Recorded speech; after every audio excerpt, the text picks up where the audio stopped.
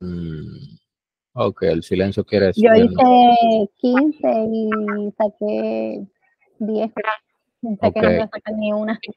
¿Cómo, ah, ¿Y cómo que no? ¿Y por qué tú pensabas que no iba a sacar ni una? Porque me tenía miedo. ¿Cómo miedo? Que, ay, que ustedes tienen una relación. No, al contrario. Te conviene sacar la todita mala porque así ya tú sabes lo que tienes que estudiar. Ahora, el día del examen, no.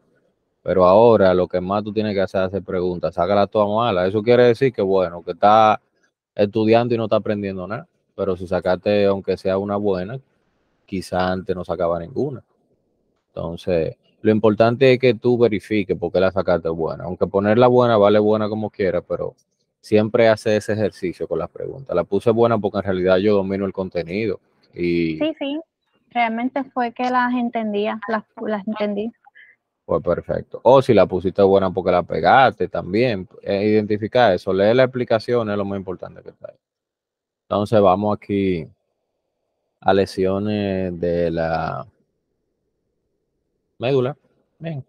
Entonces, aquí lo importante es relacionar las anatomías por donde van los tractos. Bien, esto hay que complementarlo desde el punto de vista anatómico con el corte de que vimos aquí arriba, para que no se pierdan. Bien. Vamos a dónde está eso. Pues este es el lugar que tienen que... Esto. Bien. Recordando por dónde van los tractos y entendiendo que la parte de aquí es sensitiva, esto aquí es motor, porque está el córtico espinal y el sensitivo, el espinotalámico y la columna dorsal, y sabiendo que la parte atrás es sensitiva, la delante es motora en cuanto salen de la médula. Entonces, si complementamos eso con, si por ejemplo, si yo tengo una lesión que me afecta esto aquí, ¿qué me va a afectar? Bueno, pues la parte anterior, eso es motor, ¿verdad? Ah, si me afecta esto aquí atrás, ¿qué me va a afectar? Bueno, la parte sensitiva. Ah, bueno, y si me afecta esto aquí, bueno, aquí está tal tracto. O si me afecta esto aquí atrás, aquí está tal tracto. Sabiendo cuáles son las funciones de los tractos, recordando que tenemos el córtico espinal. Recuerden que el nombre no dice para arriba, para abajo, si tenemos que es córtico espinal, es de, arriba para abajo. Eso es motor. Es el único motor, los otros son sensitivos, más hay que recordar dónde estén. Y sabe discernir entre este tipo de presión, vibración, fine touch, el, tacto fino, superficial, a dolor y temperatura y el dolor, el, el tacto profundo y la presión. Entonces, aunque este mira presión y este presión, pero nos vamos tacto crudo, o sea, grosero, tacto fino, propio sección, dolor y temperatura. Bien, una vez que repasamos eso, entonces, nos vamos aquí a las lesiones. Estas lesiones, algunas tienen nombre que nos ayudan muchísimo a recordar lo que hacen y otras son patologías que por el nombre eh, vamos a aprender qué es lo que hace. Otras son viejas, así que ya quizá ustedes las han visto anteriormente. Entonces vamos para allá. Vemos todo eso, esto, esto. Bien. Poliomielitis. Esta yo imagino que ustedes saben, la han visto algunas veces, ¿verdad? Eh, que le dio polio a esta gente, ok, pero ¿qué es eso? ¿Qué es el polio? Lo que dañamos es la, las astas anteriores o los cuernos anteriores de la médula. Bien, ¿cómo se pega eso? Fecal oral. Ustedes recuerdan eso de micro, cómo es ese tipo de virus. Bien, ¿qué es lo que hace? ¿Dónde que se replica? Aquí el repasando básicamente el mecanismo de acción de cómo es que el poliovirus eh, causa eso. Tejido linfoide de la orofaringe y el intestino delgado. Y después de ahí pasa al sistema nervioso central. Esa parte es importante porque esta fisiopatología más adelante, quizás con los años, ustedes van a ver que tome mucha importancia la fisiopatología que tiene el origen gastrointestinal de ponernos los antígenos para poder desarrollar enfermedades. Pero sepan que esto es un ejemplo de eso. Hay otras más, ¿verdad? Pero estos virus vinieron en algo, en alguna forma, y entraron por el tracto gastrointestinal respiratorio. Entonces, algo importante que tiene el, el polio en cuanto a la diferencia de debilidad muscular es que va a tener una una debilidad asimétrica con síntomas de neurona motor inferior, lower motor neuroscience. Eso es básicamente lo que evidencia es un daño desde la médula hacia el axón periférico que forma el nervio. Por lo tanto, el tipo de déficit neurológico que van a tener va a ser que la extremidad se encuentre flácida. Bien, al momento de evaluar al paciente. Quizá ustedes recuerden a los pacientes con polio que tienen una parálisis flácida, básicamente. Si es agudo la infección de la poliomielitis, puede darle síntomas de meningitis. Vamos a ver más adelante. Bueno, ustedes vieron meningitis, imagino cuando vieron micro, pero básicamente ustedes saben eso, los meningitis, fiebre, dolor de cabeza y rigidez de nuca. Y si vemos líquido cefalorraquídeo, podemos ver entonces la diferencia de los diferentes tipos de meningitis, atendiendo si hay proteína y mucha celularidad, bueno, pues entonces esa puede ser bacteriana y así.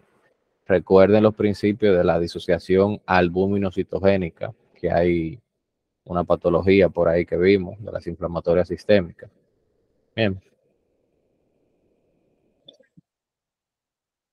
Entonces, ¿qué es lo que nosotros vemos? Una parálisis flácida que va a ser asimétrica. Una pierna va a tener más parálisis que la otra. Eso es importante porque eso me puede hacer diferencial de otros tipos de déficit neurológico. Bien, normalmente cuando nosotros tenemos un déficit neurológico, cuando tenemos ACV lo tenemos de una extremidad, no de las dos. ¿Entienden? Entonces aquí hay que pensar que el origen es la médula que se me está inflamando donde salen los nervios. Casi las cosas que son bilaterales desde el punto de vista de déficit neurológico, el origen está abajo bien, saliendo desde la médula hacia los nervios de la periferia. Eso es como para que se ubiquen ese tipo de, cosas. Como es desde el punto de vista de debilidad, la puede llegar a los músculos respiratorios y tener fallas respiratorias. ¿eh? Aquí tenemos eh, a qué se refiere el líquido cefalorraquídeo, linfocitos y muchas células. Bien, mucha proteína pero no cambio en la presión, porque es un virus. No cambio en la azúcar, que digo, porque es un virus, ¿verdad? Eso le puede dar una pista de cómo... Pero el déficit neurológico, esta parte simplemente recordando las cosas que ustedes vieron en micro, pero está ahí de paso también, porque esto siempre se repite. Eh, espérense, demos un momentito que estoy haciendo. Ok. Entonces, ¿qué es lo importante de polio? Aprendí a identificar que hay pocas patologías desde el punto de vista. Eh, van a ser diferencial con estas mismas que vamos a ver aquí, pero es diferente que vean que es asimétrico. Bien, y que tiene un antecedente de tener una patología, ya sea porque te dicen que viene de un país en vía de desarrollo, esa cosa. ¿Qué se lo, ¿Por qué le digo eso? Porque fíjense que es fecal oral. Y se supone que el sistema de salud de Estados Unidos previene ese tipo de cosas. O sea, si tienen esa historia con un déficit neurológico que es asimétrico, bien, también que compromete otras estructuras, que es ascendente, que puede tener meningitis, entonces por ahí pueden sospechar a la poliomielitis. Es importante porque miren, esta otra es lo mismo. Bien, lo único que aquí es congénito. Aquí el paciente no es una gente que tiene historia, no, una gente que nació con eso y que tiene una historia de que tiene el papá o la mamá o un abuelo, porque es autosómica recesiva. Recuerden, o el abuelo puede ser, recuerden que la autosómica recesiva pueden saltarse generaciones. Hay un cuadrito para aprender el tipo de herencia por ahí. Bien, entonces, ¿qué es lo que pasa? Que aquí la cosa es simétrica. Ve, ya yo tengo diferencia con estos dos pacientes, porque primero, esta es asimétrica, esta es simétrica. Esta tiene una historia de que consumió una comida, de quizá tuvo meningitis, algo por ahí. Sin embargo, este no. Bien. Si le preguntan, eso es lo que está dañado. Pero básicamente eso es lo que te va a causar es una apoptosis de la neurona motora inferior, del axón que sale de la médula hacia los nervios de la periferia. Bien hay muchos subtipos de esta enfermedad. Imaginen, en neurología se clasifica en 20.000 vainas, pero a nosotros nos interesa solamente esa, spinal muscular atrophy. No le van a poner a que tienen que subclasificar la tipo 1 y que la más común se llama así. Por lo menos ese enfoque no, no creo que lo den. Nada más que ustedes sepan que bueno, que va a tener historia de familiares, va a, ser simétrico y va a ser del nacimiento. ¿Cómo vemos eso? Ya lo sabemos, pero ahora es un niño, floppy baby. Va a tener hipotonía, parálisis flácida, pero eso ya lo sabemos de esta. Bien.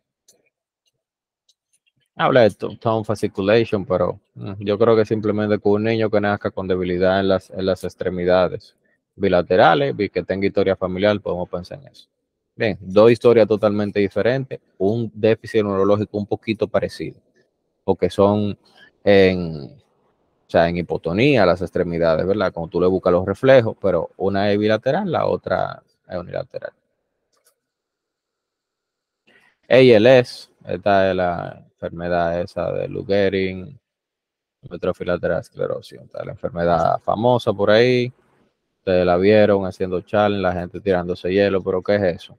Esta patología es algo importante porque tiene una presentación tan característica que es muy probable que no la confundan con ningún otro.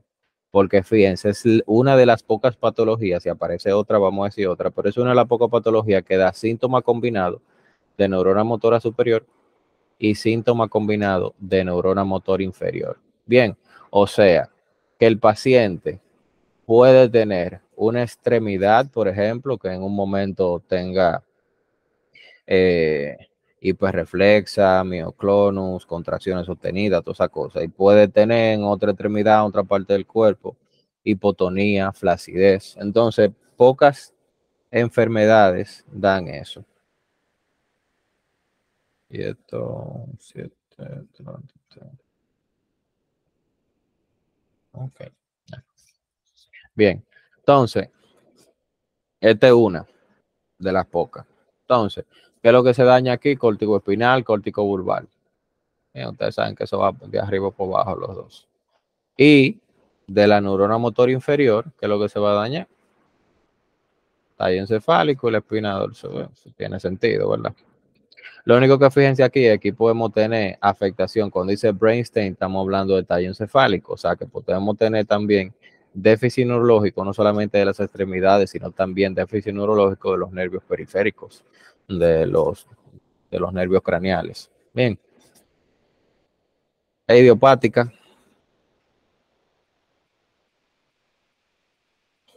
Que tiene un tratamiento ahí. Si preguntan, la superóxido dimutasa, si recuerdan de bioquímica, una de las que se encuentra en la formación de estrés oxidativo con el oxígeno. Esa enfermedad se llama Lou porque hubo un pelotero famoso que le pasó eso y la tenía. Y por eso el fármaco se llama, se llama Riluzon. Lou la gente más famosa que le digo. Entonces, simplemente con usted sabe eso, combinado las dos. Y sabe lo que son los síntomas de hipermovilidad o motora neurona superior y de hipomovilidad o de motora neurona superior. Neurona motora superior es en el trayecto del cerebro a la médula y neurona motora inferior en el trayecto de la médula a los nervios periféricos. Bien, simplemente con eso ustedes se ubican. Tabe dorsal y te está diciendo ahí que es lo que está dañado la columna dorsal. ¿Y qué tenemos ahí? ¿Cuál es, ¿Qué es lo que se siente con la columna dorsal?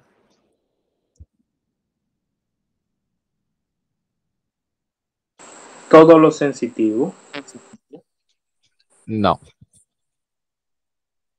Dos cosas se sienten. ¿Cómo fue la pregunta? ¿Cómo fue la pregunta?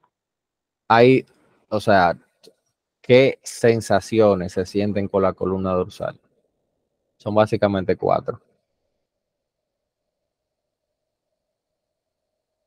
¿Se recuerdan el neuro que el tracto de cuneato, sigracil y toda esa vaina que ustedes aprendieron? Lo importante ahora es saberse la función. No todo lo sensitivo, porque ¿y el espinotalámico qué hace? Ese es el motor.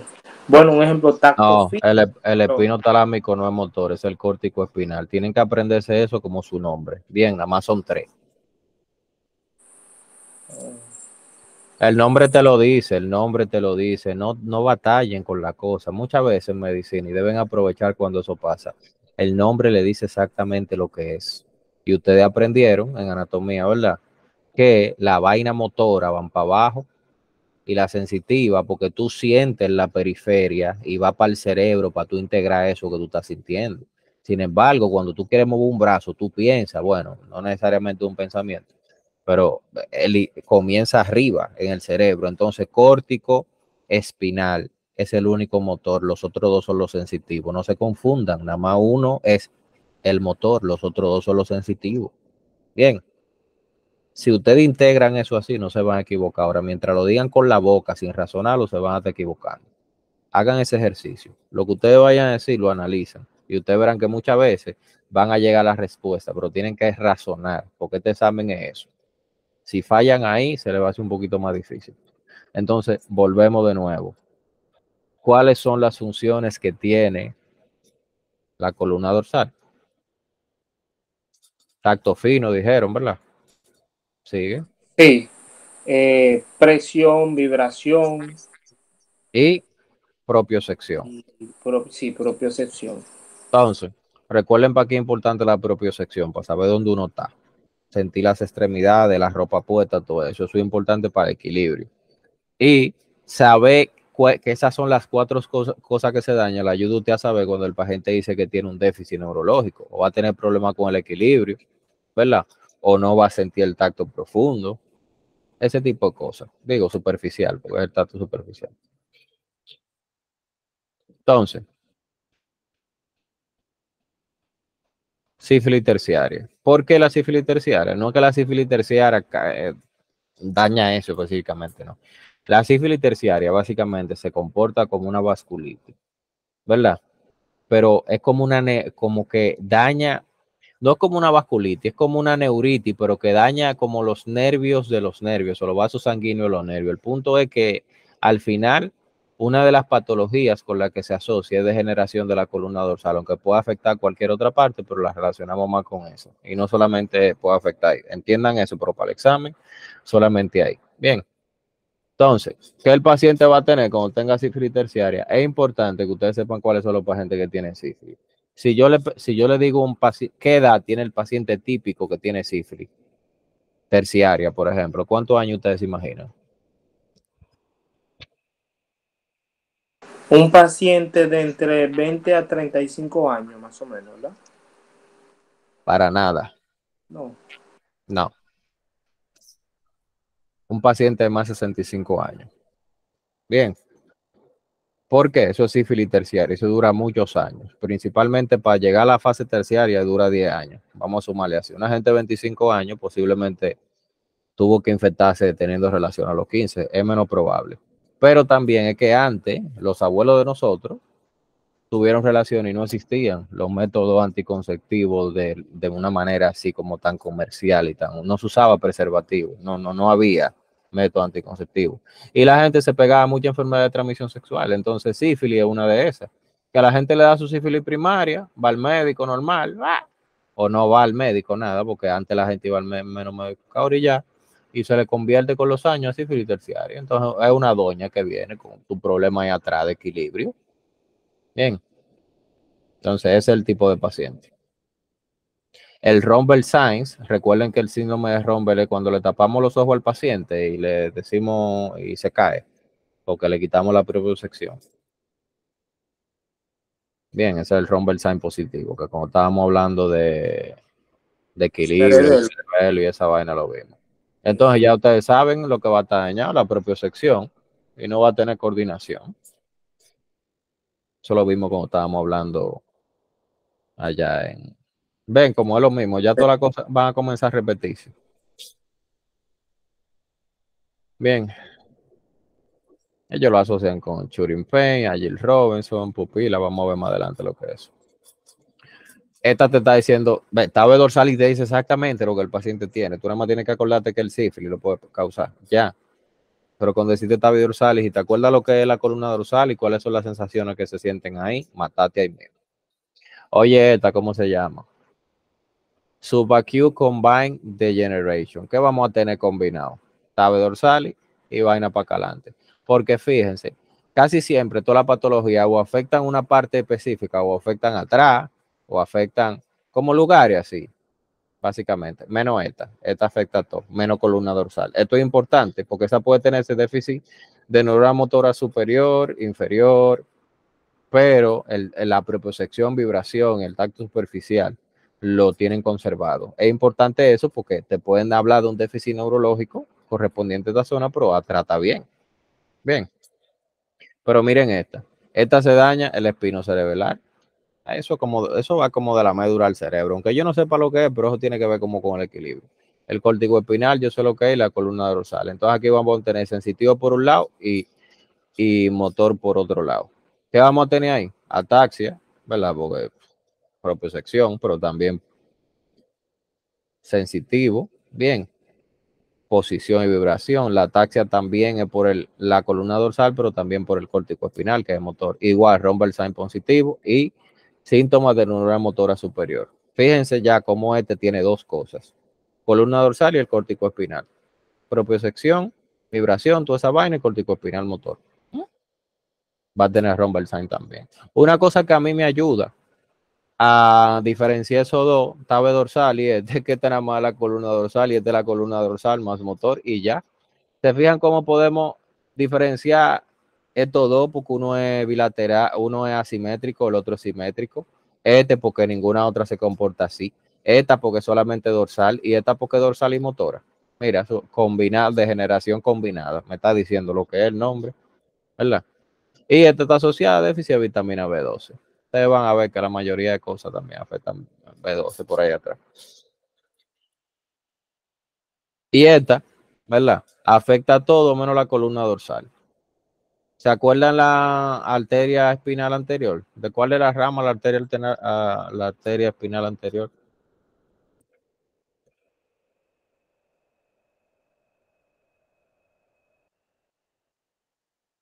de la basilar, ¿no es? Exactamente, no es. La basilar es una rama de la misma arteria que forman la espinal anterior. Son las arterias vertebrales. La arteria vertebral le dan dos ramas, la basilar y la espinal anterior. La basilar es la grandota, que de ahí salen todas las ramas del cerebelo, la superior, la cerebral anterior inferior, la cerebral inferior posterior, toda esa que vimos, ¿verdad? pero la espinal está ahí en el medio, la chiquitica que sale antes de, dar la rama de la basilar. Ustedes saben que es su circulación posterior, pero miren lo que me afecta aquí. ¿Se acuerdan que yo le dije, miren cómo está esto anterior ahí, que me puede entonces afectar todo eso? ¿Cuáles tractos están ahí? El espinotalámico, el córtico espinal y la columna dorsal está ahí atrás. Todo el mundo se afecta menos la columna dorsal. Lo contrario a este que afecta la columna dorsal menos todo el mundo. Ya esas son. ¿Se fijan qué fácil? Como que, como que toditas son, ¿verdad? Tan diferentes de la otra. Lo que tenemos que hacer es la relación con anatomía, el área y recordar los tractos. Apréndanse uno, el córtico espinal, es el motor. Los otros dos son los sensitivos. Bien. Y la diferencia entre síntomas de una motora superior síntomas de una motora inferior. Entonces, esto es síntoma de la que vas a tener. Este es importante porque aunque esta se comporte un chin como la ALS, como a, amiotropia lateral esclerosis, fíjense que solamente es toda la área anterior, pero por eso podemos tener, eso dice otra, aortia, córtico penal y arriba de la lesión. Sí, tiene sentido. A nivel de la lesión, ¿verdad? Va a tener des o sea, de abajo de la lesión, porque tiene sentido. Si, por ejemplo, tú tienes una lesión en T8, como dice ahí, todo lo que esté abajo de T8 va a tener sintomatología de neurona motora superior. Pero al nivel de la lesión va a tener entonces síntomas de neurona motora inferior, pero solamente de un solo lado, para ponérselo así. Eh, dependiendo, ¿verdad?, qué tanto se obstruya. Pero si se obstruye de los dos lados, bueno, te va a dar un déficit motor del córtico espinal y espinotalámico.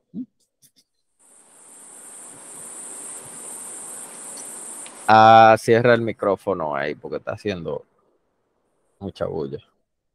Eh, este otro sin, o sea, otra presentación que se llama el Brown sequal. El Brown sequal es una media sección de la, de la columna. Esto es importante, esta lesión, porque se presenta de una forma también muy característica. Porque recuerden que hay tractos que cruzan y hay tractos que no cruzan. Entonces, atendiendo a eso, si nosotros seccionamos, por ejemplo, como este paciente, que le seccionaron la mitad de la médula derecha, el nivel de la lesión es este. Entonces, ustedes se van a fijar que aquí vamos a tener un paciente con tres sintomatologías diferentes después de una lesión.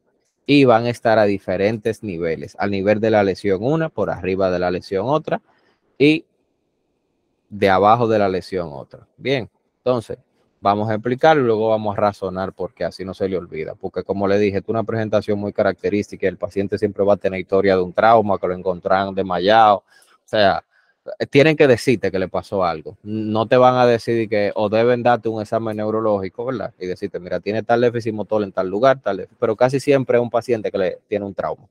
Aunque un paciente con un trauma pueda hacer otro tipo de lesión, puede ser un trauma, ¿verdad? Y afectarse la arteria espinal anterior, o puede ser un infarto, pero también puede ser un trauma y eh, cortarse la mitad, ¿sí? un, un cuchillo, una vaina, una explosión, lo que sea. Bien.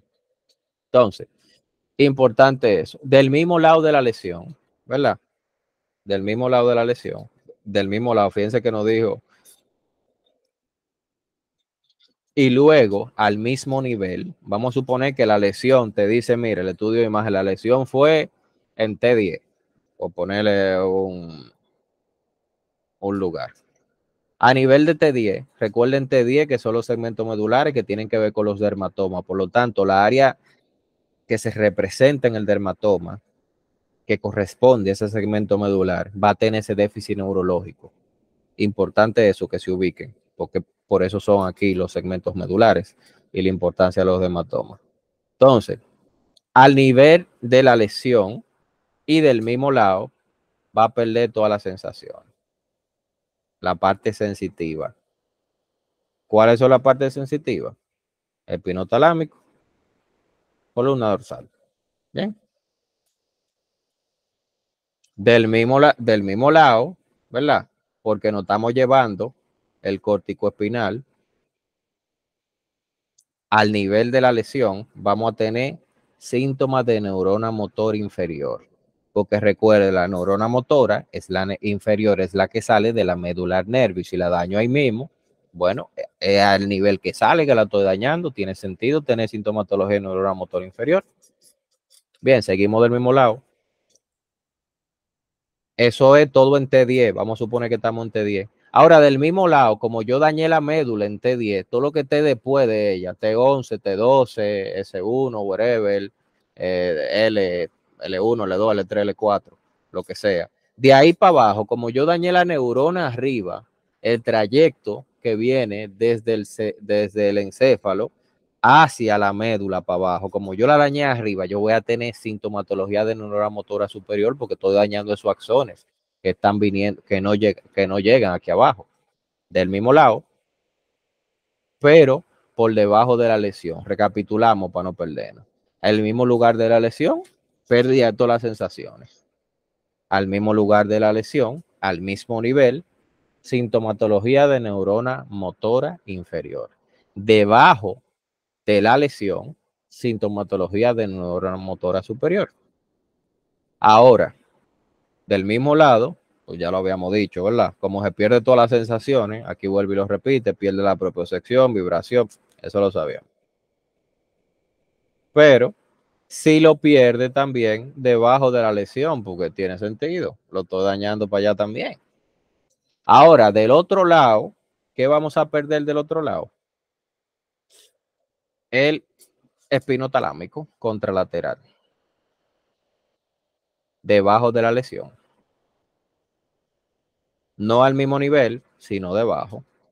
Básicamente, si ustedes se fijan, es simplemente debajo de la lesión, neurona motora superior y debajo de la lesión, espinotalámico es dolor y temperatura y todo eso.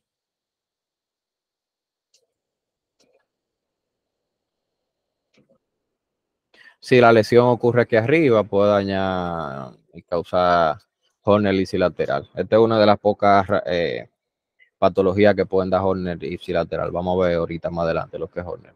Entonces, recuerden esa presentación, es muy florida, muy característica, la historia también, y un síntoma neurológico así tan florido, pero no se vayan por lo complejo, y esto tiene mucha vaina, es un bronce cual. No, léanlo y entiendan, razónenlo, entiendan cómo son los tractos, hasta dónde llegan, qué neurona motora superior inferior, ya se lo he explicado varias veces, de dónde se mueve. Y si yo lo daño en ese trayecto, yo voy a tener una sintomatología característica de esa lesión. Si es superior, voy a tener todo aumentado, ¿verdad? los movimientos, espasticidad, los reflejos, todo eso. Si es inferior, todo disminuido.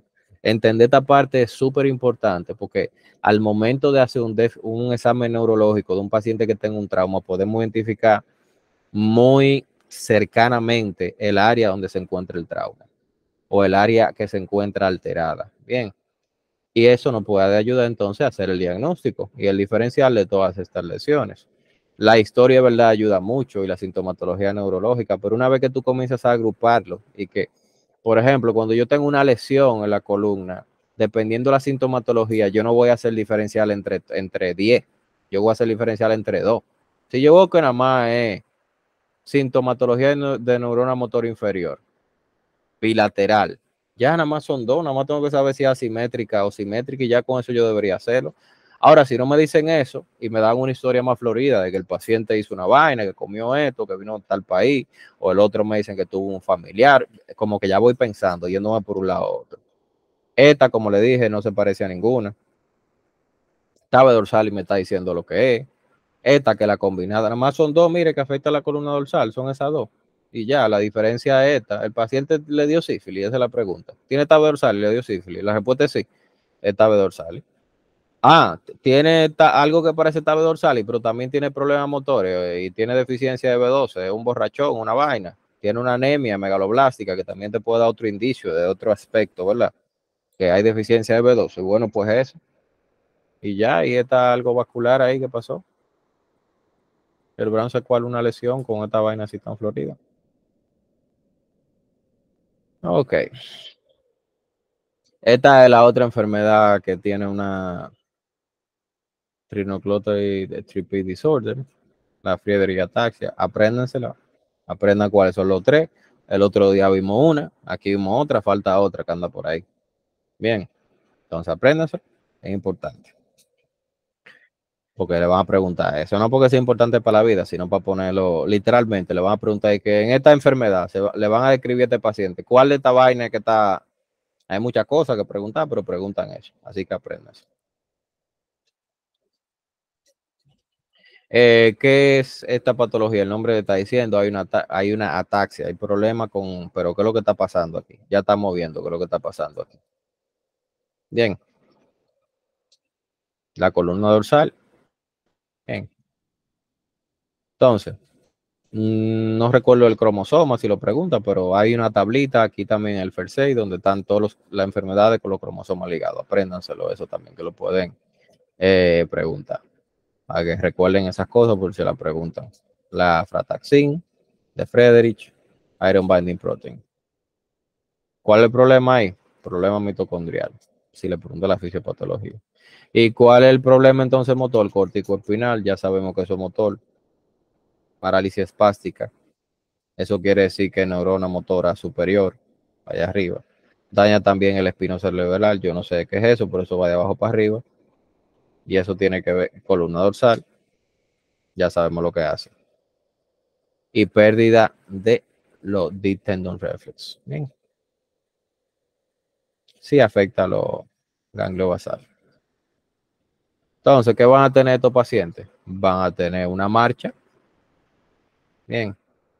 Van a tener arcos prominentes, eso se lo van a describir en la historia clínica, que van a encontrar, mira, tiene esta foto, o te van a describir eso.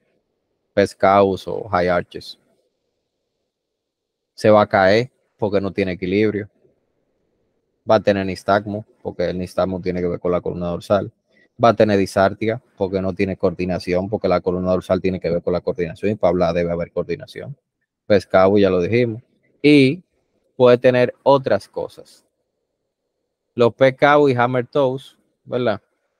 Esa es una de las patologías que tienen alteración en los pies. Vamos a ver pocas, como algunas cinco. Ahí este una, pero piense que no viene sola, viene con muchísimas más cosas. Este tipo de paciente también puede hacer este tipo de patología. Cardiomiopatía hipertrófica. Bien, es una de las pocas patologías que da cardiomiopatía hipertrófica, está asociada. Recuerden cardiomiopatía hipertrófica, la vimos cuando estamos hablando cardiomiopatía hipertrófica. Pero recuerden que la mayoría de los casos era un paciente viejo que tenía hipertensión y para compensar eso tenía que la masa del corazón aumentar, ustedes saben, pero es una gente que nace con eso. Bien, eso es raro, no lo hemos visto hasta ahora. Y de eso se mueren. Y presentan con kifoescoliosis. Kifosis, ¿verdad? Escoliosis ustedes saben que es para pa, los lados. Lordosis es la curvatura para adentro, por ejemplo, las mujeres la tienen más prominente, donde acaba la espalda ahí. Y la quifosis es una curvatura hacia afuera. Bien. O sea, esas tres curvaturas hacia el lado escoliosis, hacia adentro lordosis y hacia afuera quifosis. Los pacientes tienen quifosis, o sea, la columna está para el lado y para afuera. Es un paciente característico. Una marcha medio doblada, ustedes han visto gente así por ahí. Entonces, apréndanse eso. Eso es importante porque se lo van a aprender ellos hablan aquí esta vainita y que para que se la aprenden. A mí yo, en realidad esa no me funciona. Utilícenla, pero ¿qué otra patología se parece a eso? Tiene ataxia, problema del corazón, tiene problemas en los pies, tiene la espalda doblada, o sea, y aparte de eso tiene un déficit neurológico que me va a afectar la columna dorsal y el córtico espinal, o sea, no, como que no recuerdo ninguna otra. Parálisis cerebral. Entonces, esto es más como un término, ¿verdad? Eh, del punto de vista de un déficit neurológico. Cuando existe una lesión por un nervio, casi siempre eh, del punto de vista motor podemos ver modificaciones en su funcionamiento. Y nosotros lo podemos medir, por ejemplo, que la gente con la fuerza en que pueda apretar y esas cosas. Este tipo de malformaciones, vamos a llamarle así, o agenesia, o, o que no se desarrolla de manera adecuada, o que no se desarrolla para nada. Bien, disgenesia, que no se desarrolla de manera adecuada, agenesia que no se desarrolla. Es más común de manera, ¿verdad? Eh, congénita. Y simplemente no se desarrollan esos tejidos. Entonces, es importante, permanente, disfunción motora. Que puede estar o no causada, esto le agrego yo aquí, puede muchas veces de origen que no hay ninguno, pero muchas veces está asociada a patologías del desarrollo infantil, como por ejemplo la patología que tiene la mamá, síndrome de alcohol fetal, síntomas de consumo de sustancias, esas cosas como algo que tiene que ver con el desarrollo, agenesia, digenesia y todas esas cosas. Entonces, la prematuridad lo va a afectar, bajo peso. Mientras más chiquito, menos se desarrolla. Eso tiene todo el sentido. Unos niños pequeñitos que no están desarrollados, ¿verdad? Y aparte de eso, por la razón que sea, por el síndrome, desde el punto de vista neurológico, no se desarrolló. ¿Y cómo nosotros podemos ver eso? leucomalacia, periventricular leucomalacia. Focal necrosis o Weimar el tras. Recuerden que los Weimar el tras son los axones. ¿Y qué vamos a tener si es allá arriba en el cerebro? Neurona motora superior.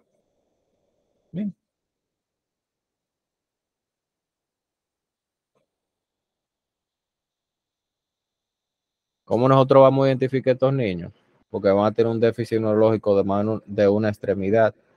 Los reflejos primitivos, cuando estamos viendo pediatría, vamos a repasar cuáles son los reflejos primitivos. No es que tienen que aprendérselo todo, pero son importantes también para ustedes eh, identificar cuando un niño está haciendo regresión en su desarrollo por algún una manifestación psicológica de algún trauma o de algún evento o de alguna patología. Va a tener otras cosas, la mayoría van a ser motoras, pero básicamente no se va a desarrollar de manera normal con los eh, milestone motores. Se puede estar acompañado de trastorno del comportamiento, como un niño muy dócil, un niño muy irritable, cosas súper inespecíficas. Bien, un niño cuando nace con un déficit neurológico de que nació. El tratamiento, si es como neurona motora superior, le damos relajantes musculares como el baclofen o inyecciones de toxina botulínica. Se puede hacer también un procedimiento quirúrgico. Ahorita eso.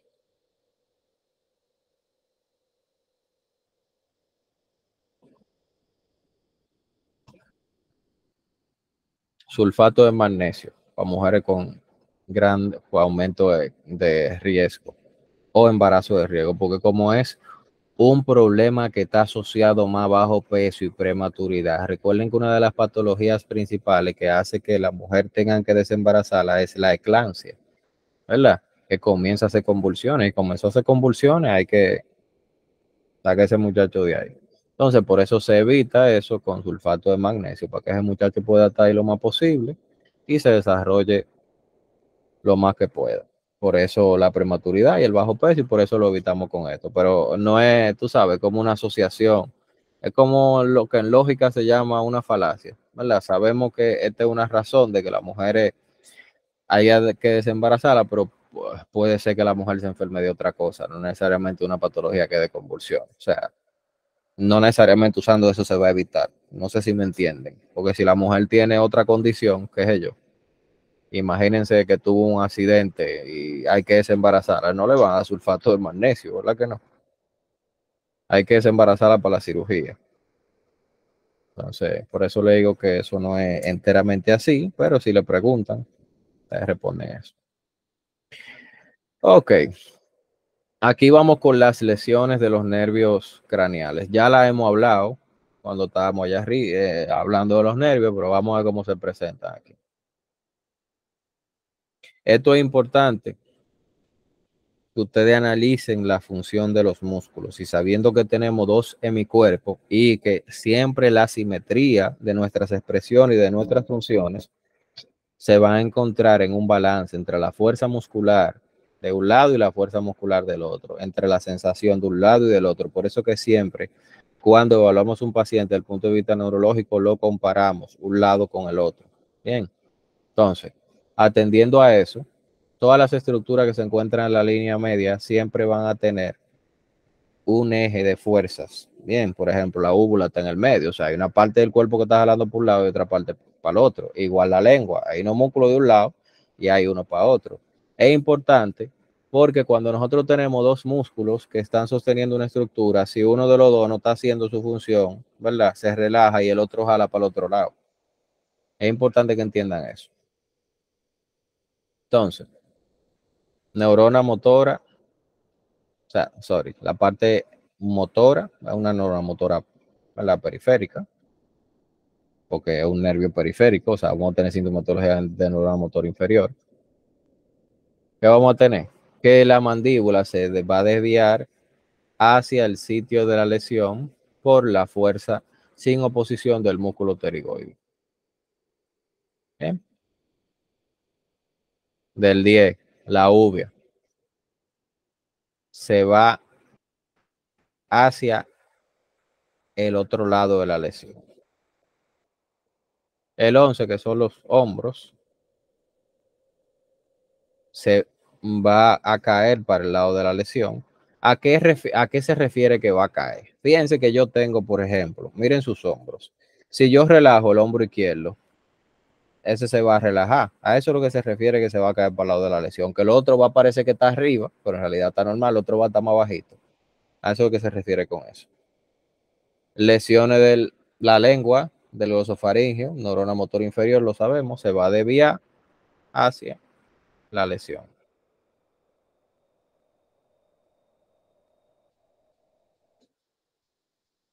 Y yo, o sea, que, quería aportar que también, un ejemplo, en, en cuanto al, a la lesión del, del 11, que tiene que ver con el, con el hombro, eh, tiene sentido lo del problema para mover la cabeza contralateral a la lesión, ya que el hombro está caído contralateral, va a dificultar que uno pueda mover la cabeza en contra de ese decaimiento de ese lado de la lesión.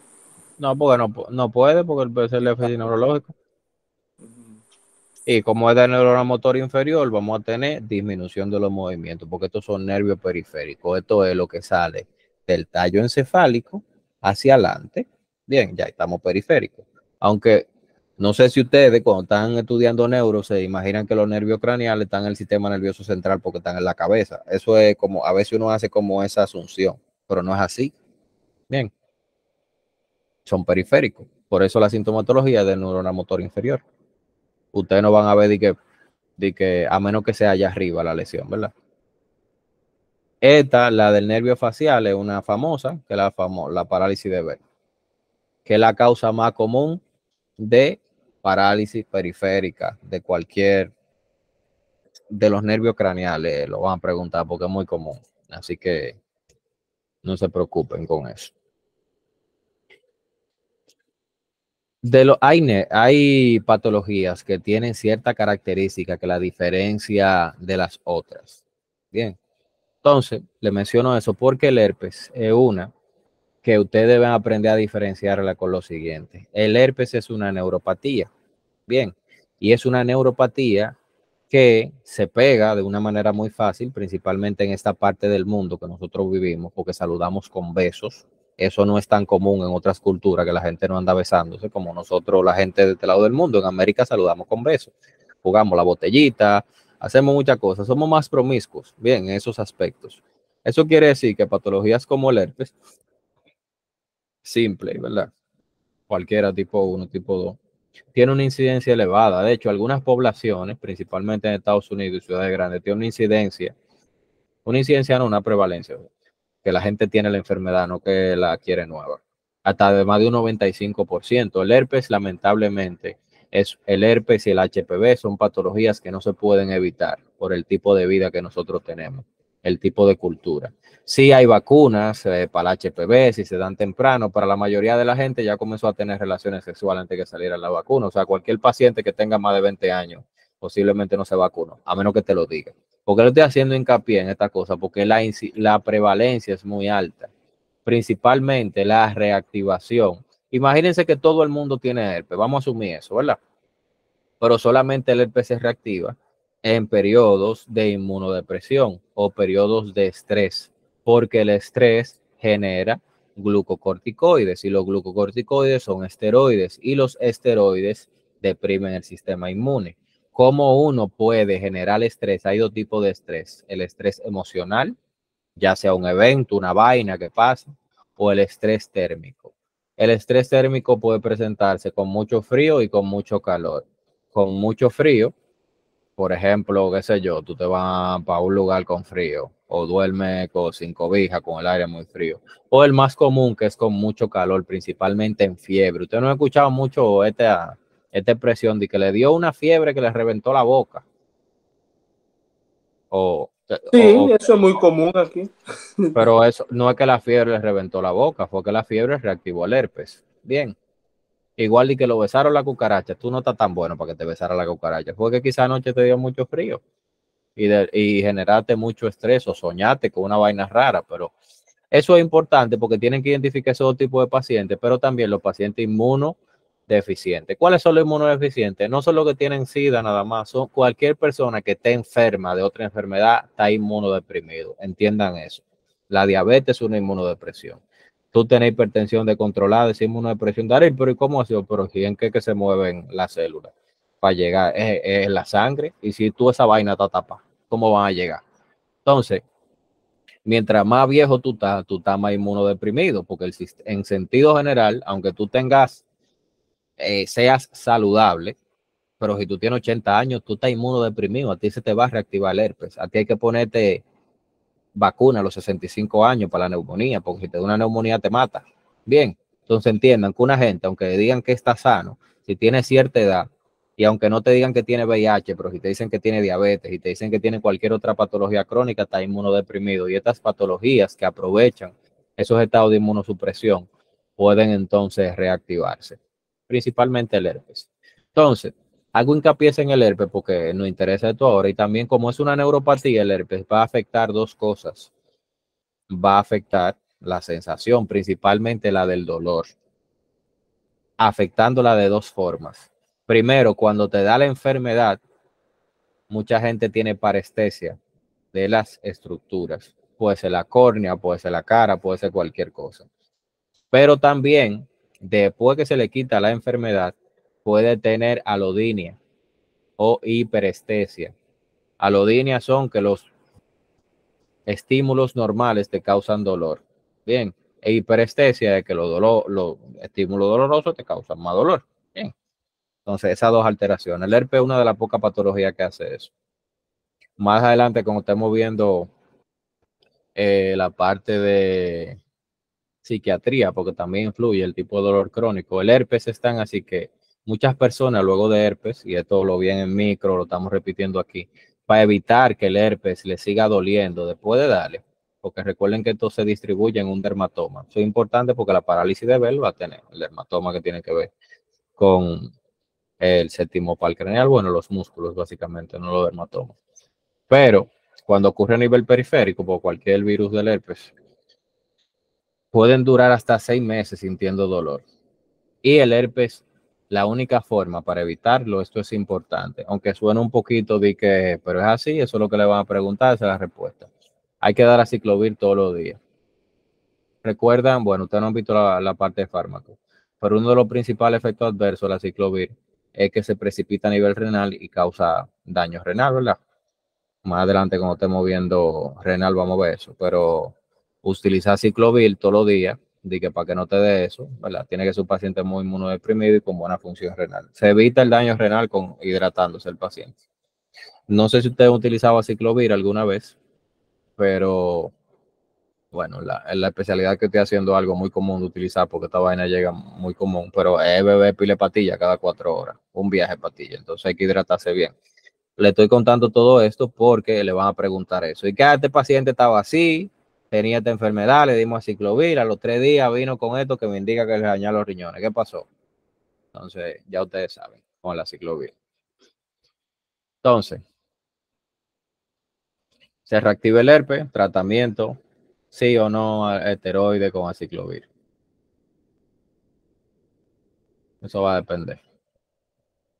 Y los pacientes recobran eso. Casi siempre esa, esa enfermedad a veces responde solo pero lo que pasa es que, esto es idiopático. Bien, la parálisis de Bell. Entonces, por eso damos esteroides. Ahora, si fue que se reactivó el herpes, que nosotros vimos unas lesiones características del herpes por ahí, bueno, pues le damos la ciclovir. Puede ocurrir algo que se llama regeneración aberrante.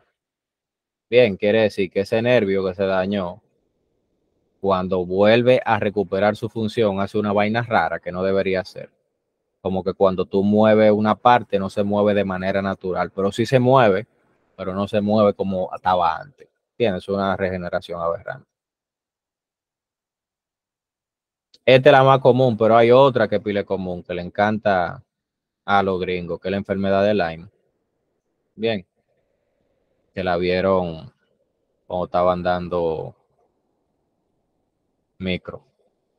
Ahí la que pega la garrapata, esa. Era el pesóster, lo mismo, teníamos, todo lo mencionado. Sarcoidosis, tumores, vaina súper inespecífica. Pero la diabetes descompensada, un paciente con una glicemia en 500, en 600, o un coma hiperosmolar, 700, 800, una cetoacidosis diabética, que no está tan alta el azúcar, pero sí hay una acidosis metabólica, desde el punto del equilibrio ácido-base, pueden dar déficit neurológico. Bien. ¿Cuál es el que tiene eso? La parálisis de Bell la que es idiopática, la que no tiene ninguna otra cosa. Ahora, si un paciente diabético que tiene una neuropatía, una neuropatía diabética, ¿entienden? Es simplemente cuando no hay etiología, se llama de Bell. Lo del concepto de aberrante puede aplicar a todas, no solamente a la de Bell. Pero principalmente la que tienen origen inflamatorio, la que te van a causar daño. Esto ya lo sabemos. lo de neurona motora superior, inferior, todo eso. Pero ahora nos va a ayudar a nosotros a poder diferenciar cuando una gente tiene un déficit motor en la cara, sabe dónde fue el infarto, si fue arriba en el cerebro o si fue en el nervio periférico. Si fue en el nervio periférico fácil, te va a afectar los dos lados, mm, o sea, la parte completa de mi cara. La gente no va a poder fruncir el ceño si es periférico. Y si es allá arriba, en la corteza, solamente va a ser la de mi cara inferior. Bien.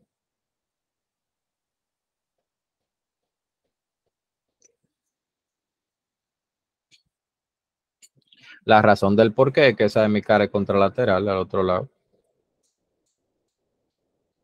Pero si es la mi cara completa, si el paciente tiene la cara desviada, incluyendo la comisura labial, la hendidura palpebral como por lado, la ceja por lado y que no puede fruncir el ceño, o sea, en mi cara completa es periférico.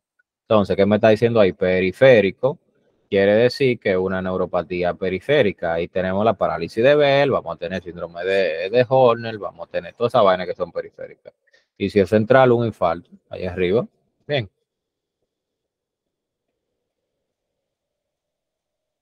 Entonces vamos ahora con los sentidos especiales el oído. ¿Qué a nosotros nos interesa saber del oído? Bueno, lo primero es que el oído va a tener dos partes. El oído externo, que es esta vaina de aquí, y bueno, son tres, pero toda esa vaina está por ahí adentro y tiene el mismo epitelio. A mí me gusta, desde el punto de vista histológico, entender cuáles tejidos están ahí para saber cuáles son las bacterias que afectan, porque eso ayuda mucho son tres partes, ustedes saben, oído externo, medio, interno, pero yo me lo organizo que toda esta vaina es interno, que el medio es donde están los huesos y que lo otro la cóclea, pero todo eso tiene el mismo epitelio, que el epitelio respiratorio, el cilíndrico, pseudototrificado, ciliado con célula galiciforme. Bien, te está diciendo cómo es. Cilíndrico, que parece que tiene varias filas, pero no lo tiene. Pseudotratificado, ciliado, tiene cilio, es importante porque ahí se produce moco para barrerlo. Bien. Y con célula caliciforme. Pues te está diciendo que está produciendo moco. Esta célula producen el moco y lo barren. ¿En qué dirección? Hacia abajo. Entonces, esto es importante saber que es epitelio respiratorio, porque usted se va a dar cuenta que las principales causas de neumonía son las principales causas de otitis media. ¿Recuerdan de micro? ¿Cuáles son las bacterias más comunes de otitis media? O de neumonía, son las mismas. O de meningitis, son las mismas. Porque todas esas vainas se comunican. Porque yo tengo una autitis por aquí. Si yo atravieso ese hueso, pum, ahí mismo estoy en la meninge. ¿Recuerdan cuál era? Eh, influencia. Para feliz influencia es pseudomona. Ah, no, no eh, pseudomona es otitis externa, pero yo sé que influencia está ahí entre la otitis media, si no estoy mal. Es la segunda más común en realidad. Ah, estreptococo neumonial. Bárbaro, lo dice el nombre.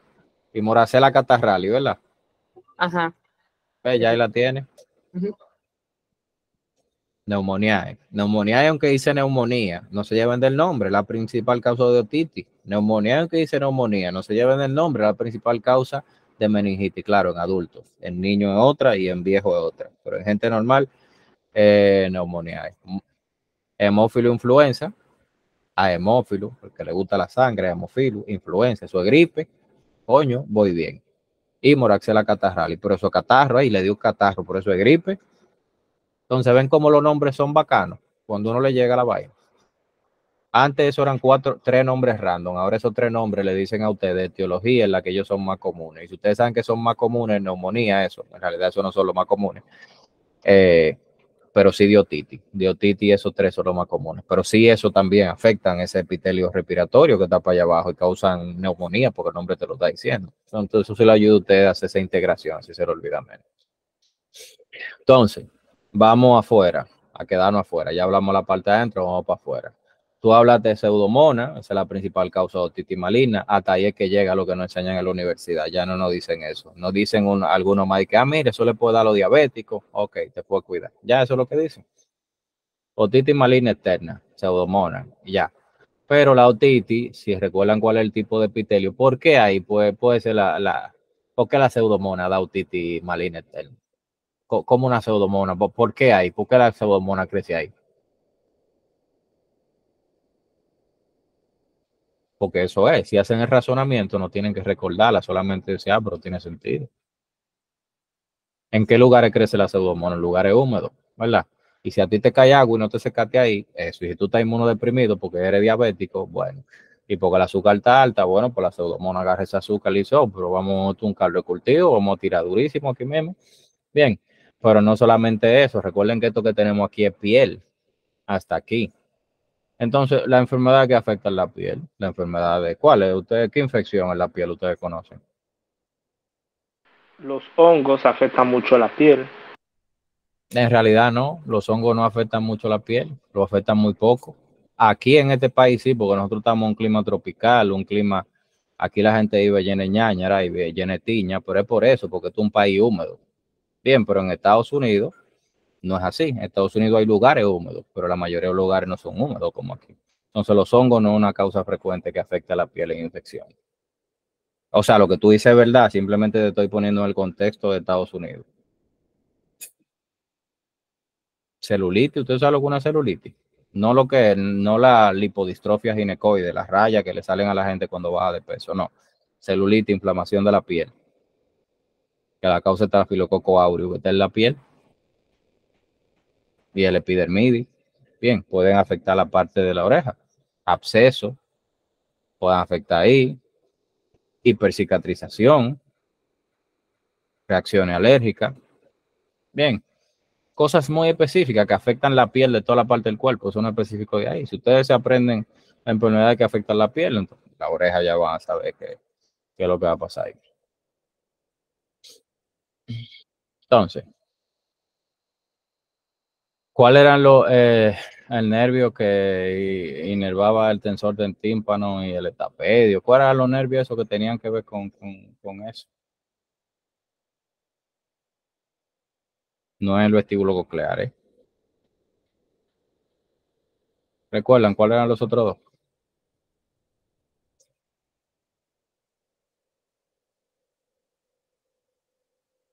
Facial y trigémino.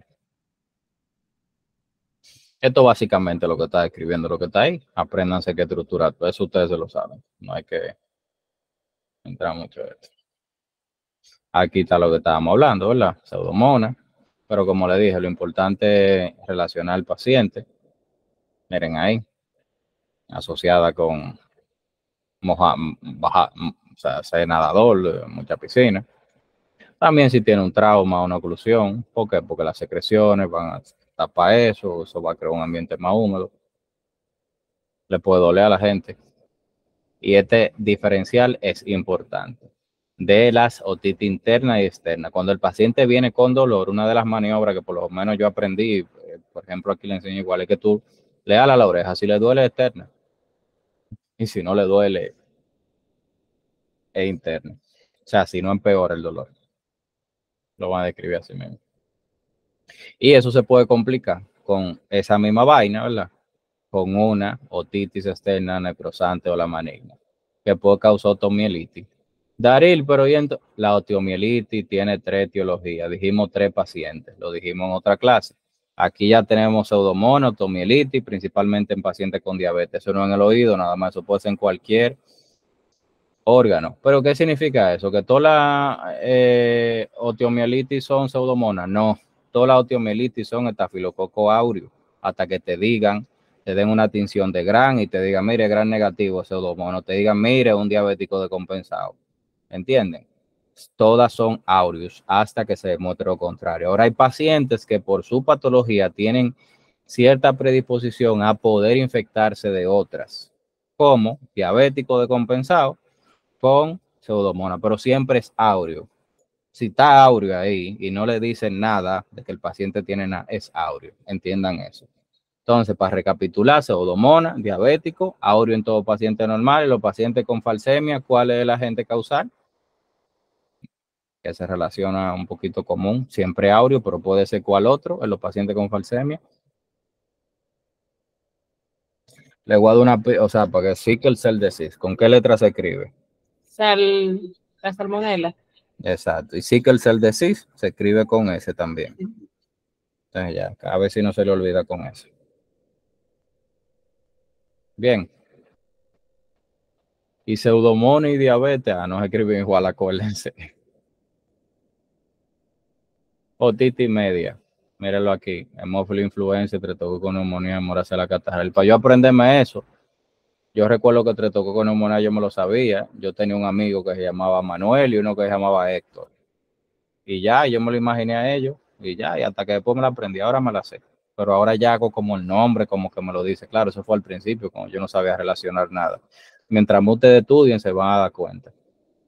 Por ejemplo, con yo leer el nombre aquí, yo sé qué enfermedad causa, pero también sé que causa beta hemólisis, porque mira, un hemofilo, o sea, tiene afinidad para la sangre, o sea que esta bacteria crece en agar chocolate, nada más con yo leer el nombre sé eso, claro, y con haber leído los métodos de cultivo, los diferentes tipos de bacterias, pero antes yo no sabía nada de eso. Y cuando yo leí un nombre, simplemente era un nombre de un Pokémon más que tenía que aprenderme, pues no tenía nada con qué relacionarlo. Si usted se aprendió los 150 Pokémon, la bacteria le va a saber a nada, porque son como 120 nada más. Y de esas 120 son como 50 importantes, igual que los Pokémon. Así que si a usted le gustó eso, le va a ser más fácil esto. Ah, no, pues ya yo sé. No, así es que yo, mira, la flashcard que andan por ahí, yo le, le dije, búsquenla la Limping Esa era la que yo usaba y yo andaba con mi tarjeta y cada uno era un Pokémon completo, con muchas características. Y yo lo miraba y lo miraba hasta que me lo aprendía. Eso yo lo hice y les recomiendo que lo hagan porque fue lo que más me funcionó. Principalmente porque esas flashcards, aparte de que te dicen las características de las bacterias, también te dan un escenario clínico muy, muy parecido al que sale en el examen. Que cuando tú lees el del examen, tú dices, esta gente mandan vaina para allá porque te presentan como el escenario clínico muy, muy, muy parecido, o sea, con todos los datos muy específicos, con, lo que te preguntan de cada bacteria, o sea, todo lo que tú necesitas saber de esas bacterias está ahí. En ese, es un, muy buen complemento. ¿Tú, lo, ¿Tú lo podrías volver a mandar? Perdón, que yo como que no estaba aquí cuando tú lo compartiste. Eh, no, es que yo no lo compartí porque eso no es algo que yo tengo. Eso está por ahí, tú te lo, te lo descargan. Eh, son las flashcards de Limping de microbiología. Sí mismo Limping, de esa misma marca que usted está tan harto de ver. Flashcard de microbiología, eh, la segunda versión fue que yo usé. Hay dos versiones. Se la pueden bajar en PDF, en Book Médicos, búsquenlo ahí. Pongan flashcard de microbiología y le debe salir esa vaina en Book Médicos. O si no, yo la compré en eBay, me acuerdo. Yo hasta usar la compré, me acuerdo. La compré como en 15 dólares. Nueva cuestan como 50. Si a usted le gusta nueva, compré nueva. Pero ahí tienen esas tres opciones, nueva, usada o descargar pirateada, como ustedes quieran. Aprovechen lo que viven aquí, que aquí no nos meten presos y pirateamos. Y después se la mandan a los otros. Entonces. Ay, sí, por favor, que aquí estamos cogidos nosotros. No, eh, un VPN, paguen 5 dólares mensuales y sean felices. Ah, no, sí, sí.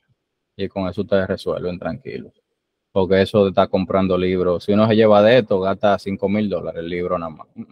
No, andamos en eso. Entonces, ¿con qué está asociado eso? Con disfunción del tubo de Eustaquio. Señora, hay un principio fisiopatológico, todo tubo, todo trayecto, y nosotros tenemos el tubo de Eustaquio aquí, ¿verdad? Y recuerden que decimos que, ¿cuál es ese epitelio? Eh, epitelio respiratorio, cilíndrico, pseudotorificado, ciliado con célula caliciforme. El nombre más largo de histología. Bien, entonces, si eso se tapa, entonces infecta. Hay un principio fisiopatológico, si hay un tubo y se tapa, ya sea gastrointestinal, la vía urinaria, la vía respiratoria, la vía auditiva, y se tapó, se infectó. Porque recuerden que esto es una mucosa y hay bacterias que se encuentran viviendo y la bacteria debe haber un balance entre las que, entre las que están ahí, las que llegan y las que se van, ¿verdad? Pero si las que se van están tapadas, va a un acúmulo y eso va a crear una, una infección. Entonces, por eso esa disfunción de la trompa de Eustaquio va a causar problemas. Pero también hay otras patologías que tienen problemas de los cilios, que los cilios no se mueven. Cuando ustedes están viendo eh, biología molecular. Síndrome de Cartagena, y ven así. Exacto. Entonces, el síndrome de Cartagena puede tener eso. Recuerden que el síndrome de Cartagena tiene que ver con las micro, con la estructura de dineína, el movimiento de los microtúbulos y estas vainas que tienen los cilios. Entonces, ese tipo de paciente va a tener disfunción de la trompa de Eustaquio, no por desde el punto de vista anatómico, sino funcional. Así que importante eso. Esto ahí es lo mismo que la acabo de Entonces afecta todo lo que sea tubo. O sea, Cartagena yo pensaba que nada más era eh, respiratorio y cosas así. No, ¿y qué es cosa así? Respiratorio, estamos respiratorio. ¿Cuáles son, a qué tú le llamas cosas así? ¿Qué, es lo otro? Además de respiratorio, eh, estábamos hablando de que todos los tubos que se puedan, que puedan tener incapacidad para su correcto limpiado, pues tienen propensa a, infectarse. Sí, pero este no, caso, no, no, no tubo.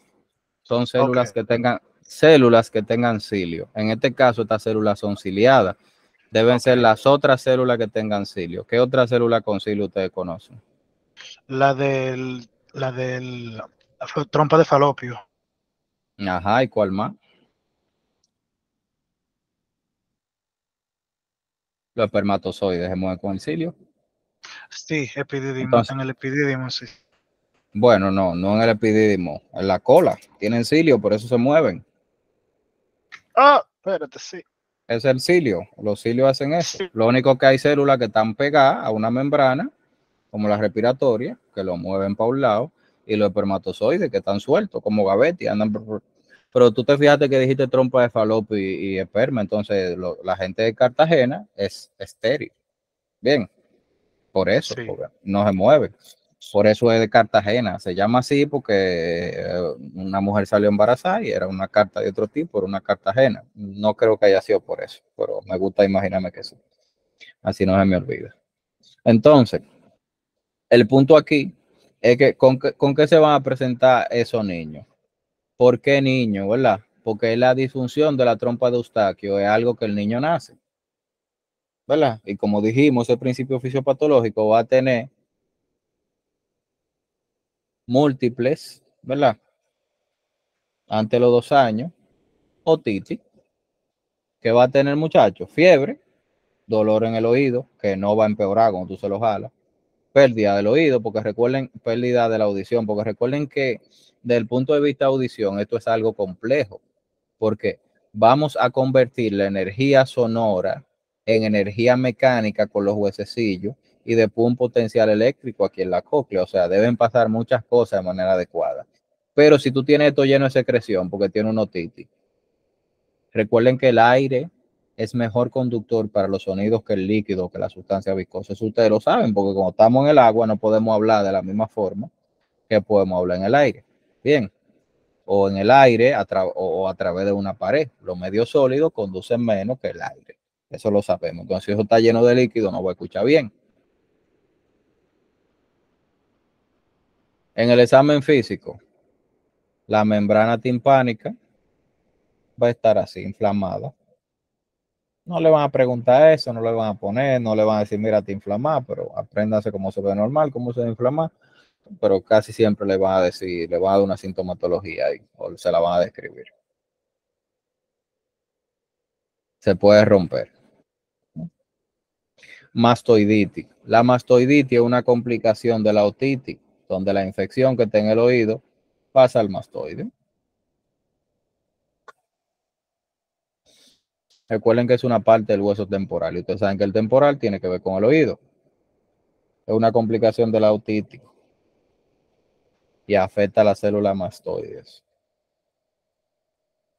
¿Cómo se va a presentar? Dolor posauricular. Ustedes se sienten ese huesito que está ahí atrás de la oreja inmediatamente. Como que sobresale. Si ustedes bajan del de la parte de arriba, del hélix, el hélix es la parte ancha de la oreja, la parte de arriba, y bajan como lateral, ahí sienten esa, eso ahí, que que está como duro. Eso ahí. Eso ahí es lo que pacientes van a decir que le duele. Inflamado. Y puede tener un acceso a la mastoiditis. Básicamente una, inflamación por afuera de la oreja. Ese punto es importante de atrás porque lo podemos usar como referencia para esto que vamos a poner aquí. Entonces, recuerda un día que yo le dije, a ah, la presbicia, previacusia, básicamente es related daño a la, a escuchar a alta frecuencia. Alta frecuencia son los sonidos, como por ejemplo cuando despega un avión, una vaina así.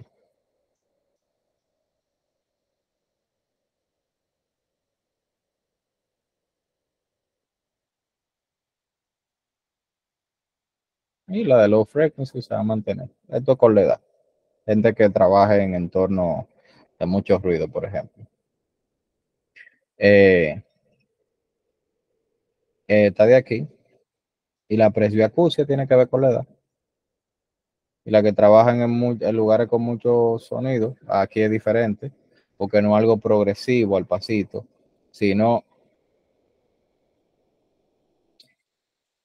es repentino. Vamos a poner un ejemplo. ¿Ustedes alguna vez han estado en un lugar que tiene tan, que la música está tan alta que no escuchan nada? Eso es muy común aquí en Dominicana. Pero ¿y cómo es eso? ¿Cómo si está muy alto no escucho? Eso no tiene sentido. Ah, pero tú te refieres a que después que uno sale de ahí no escucha nada o en el momento que uno está... En ambas. ¿Por, ¿Por, qué ocurre?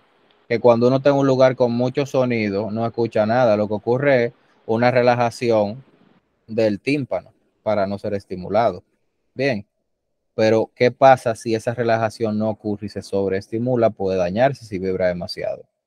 Este es el que está asociado, ¿verdad? A la parte que tiene que ver con el órgano estereociliado. Eso es el órgano de Corti, eso es el oído interno. Y se pierde lo de alta frecuencia primero. Pero de manera súbita, no una gente vieja. Y también pueden romper la membrana timpánica, eso ha pasado. Principalmente sonido de explosiones, a eso que se, se relaciona esto de aquí. Y este a la edad, sonido de explosiones, mucho ruido, vaina así. Este con la edad, pero también se presenta, por ejemplo, en gente que trabajaron en lugares con mucho ruido, pero es algo ya más crónico. Una gente un viejo y el otro una gente que le pasó algo y perdió el oído, principalmente relacionado con explosiones. Entonces, esta cosa, mucha gente se confunde con esto, con el test de Riner, el test de Weber, ¿qué coño es esto? Lo primero que ustedes tienen que saber, primero, conducción aérea es mayor que conducción ósea. Bien. Entonces, ¿para qué sirve uno? ¿Para qué sirve el otro? Hay un test que sirve para una vaina, hay un test que sirve para otro. Nosotros queremos saber dos cosas. Nosotros queremos saber primero es un oído que está afectado, son los dos o es ninguno. Pero vamos a partir de cuál es el oído que está dañado. Y lo otro que queremos saber de ese oído que está dañado, está dañado la vía aérea, o sea, lo que me conduce el sonido desde afuera hacia, hacia adentro, ¿verdad? que tiene que ver con la membrana timpánica, que tiene que ver con que vibre la membrana timpánica, que jale los huesecillos y que esos huesecillos jalen la ventana oval y que eso mueva la cóclea y que eso bien. O si tiene que ver la vibración, porque nosotros podemos hacer vibrar la cóclea de manera directa, pero se escucha mejor con el sonido. Es importante entender eso. Ustedes han visto audífonos por ahí que no se ponen en el oído, que se ponen en el cráneo nada más.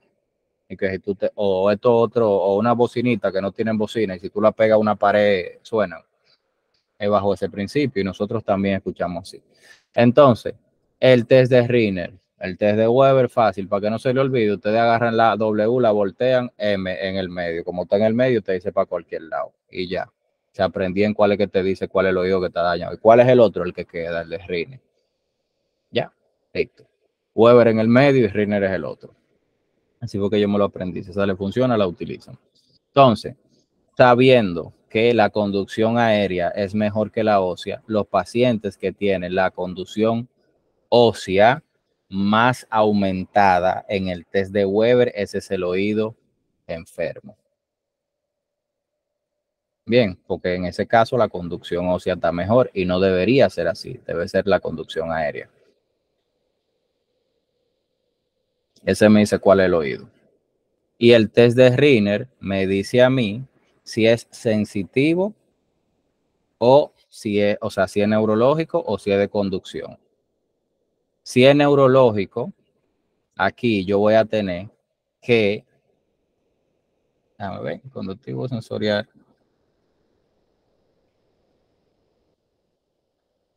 Espérate, que yo no entiendo qué es lo que quieren decir los dibujos esto, para ver que se lo explico yo a ustedes, a ver cómo que ellos lo tienen ahí. La aérea es mayor, es lo normal, es la de conducción la ósea es mayor. ¿Cómo que ellos dibujan eso? Que la ósea es mayor. Ah, con la flechita más gruesa. Ok, nítido. Ya entendí. Para ubicarlo ustedes con ustedes. Bien, lo que normal ocurre aquí, flechita más gruesa. ¿Cómo nosotros medimos la, eso? Con el diapasón usted le da. Tan sencillo como eso, usted le pone a vibrar en la apófisis mastoidea que vimos ahorita atrás del oído o usted lo puede poner en cualquier lugar, lo puede poner en la línea media de la cara, donde usted quiera. Y una vez que el paciente dice, ya lo dejé de, sentir como vibra, usted va y se lo pone en el oído. Si el paciente lo escucha vibrando, quiere decir que eso está normal. Eso es lo normal. Primero, usted se lo pone, se lo pega vibrando. Cuando deja de sentirlo vibrando, se lo pone en el oído. Y si lo escucha, esa es una forma de hacerlo y lo hacen en un solo movimiento. Yo le digo porque más adelante quizás usted tenga un examen de práctica, no sé si eso lo quitaron, si es whatever, pero bueno, por si son médicos y hacen examen neurológico, pero entiendan una forma rápida de hacerlo. O también usted con un cronómetro puede poner la edad, pone en la posición mastoidea. ¿Cuándo lo dejó de escuchar? Ah, ahora, pum, le da el cronómetro, venga, 10 segundos, vamos a poner.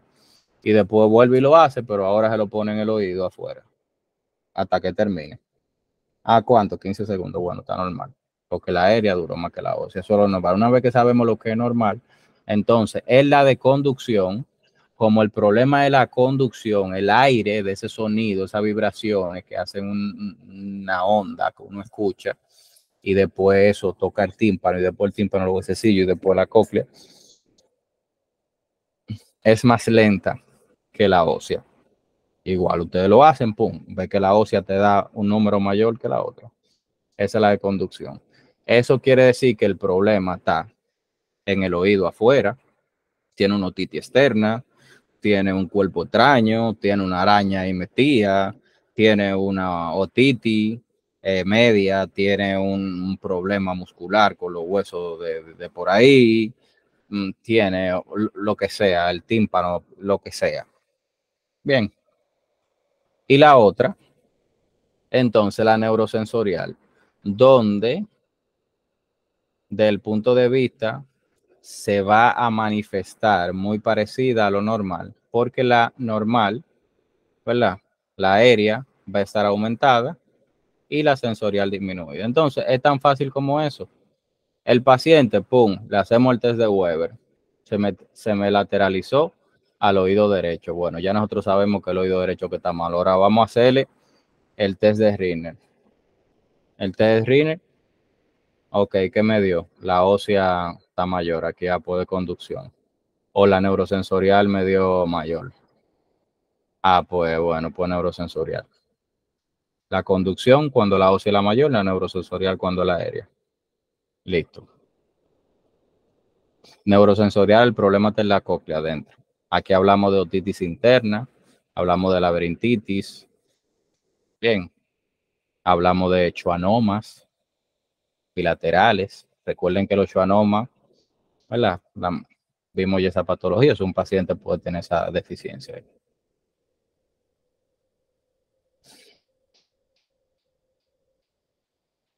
Esto es un término, colesteatoma, epitelio escamoso. Tiene sentido que sea ese epitelio, ¿verdad? Porque dijimos que eso era piel. Lo único que hay crece más y es queratinizado y dentro no debería ser queratinizado. Puede ser adquirido, principal con gente que ha sufrido trauma ahí, que se entra hisopo y esas cosas, pero puede ser con gente. Y asociado a la disfunción de trompa de Eustaquio. Como una complicación de una patología, como le dice. Y puede ocasionar pérdida de audición. Todo eso tiene sentido. Entonces, vamos a diferenciar eso, el vértigo. Esto es importante porque aquí es que ellos explican esto. Esto lo van a ver mucho. Y para mí es una expresión como que no tiene traducción, que lightheadedness. Eso ustedes lo van a relacionar con esto que vamos a ver ahora. Esto es importante porque las personas dicen que están mareados dizziness, pero es importante después del dizziness buscar el siguiente dato. Si el paciente siente que todo le da vuelta o si ellos sienten que son ellos que están dando vuelta. Bien, por ejemplo en esta. El vértigo cuando el paciente siente él que está dando vuelta. Y cuando el paciente está mareado, siente todo lo otro que le da vuelta. Es una forma de diferenciarlo aquí. En las preguntas. En la vida real es un poquito más difuso, pero para el examen, diferenciarlo así. Vértigo central de vértigo periférico. Vamos a ver qué son estas dos cosas, de central y periférico. Usted va a ver que el central, como el nombre lo dice, tiene que ver con un daño al sistema nervioso central. Mm. Entonces vamos a aprender el periférico, porque este otro lo hemos visto ya. Es simplemente un repetir una cosa que vimos por allá. Entonces, ¿a qué está asociado esto? Este al tallo cerebral, el que es periférico es a lo que no es el tallo cerebral a todas las otras estructuras que tienen que ver con la audición. Bien, y aquí van a entrar varias subclasificaciones. Los vértigos son un conjunto de patologías que se subclasifican. Entonces vamos a ver los diferentes vértigos de los periféricos que se subclasifiquen. Y vamos a aprender a asociarlo a los pacientes que tienen vértigo periférico, solo vértigo periférico y otra vaina, Bien, y así vamos a aprender a diferenciarlo. Como esto es como la demencia, pero vértigo. Si es vértigo, nada más que tiene. Vértigo paroxístico posicional. Esas son la gente que tienen vértigo cuando cambian de posición, cuando están acotados y se paran, cuando están parados y se acuestan, cuando están en la cama y se, giran.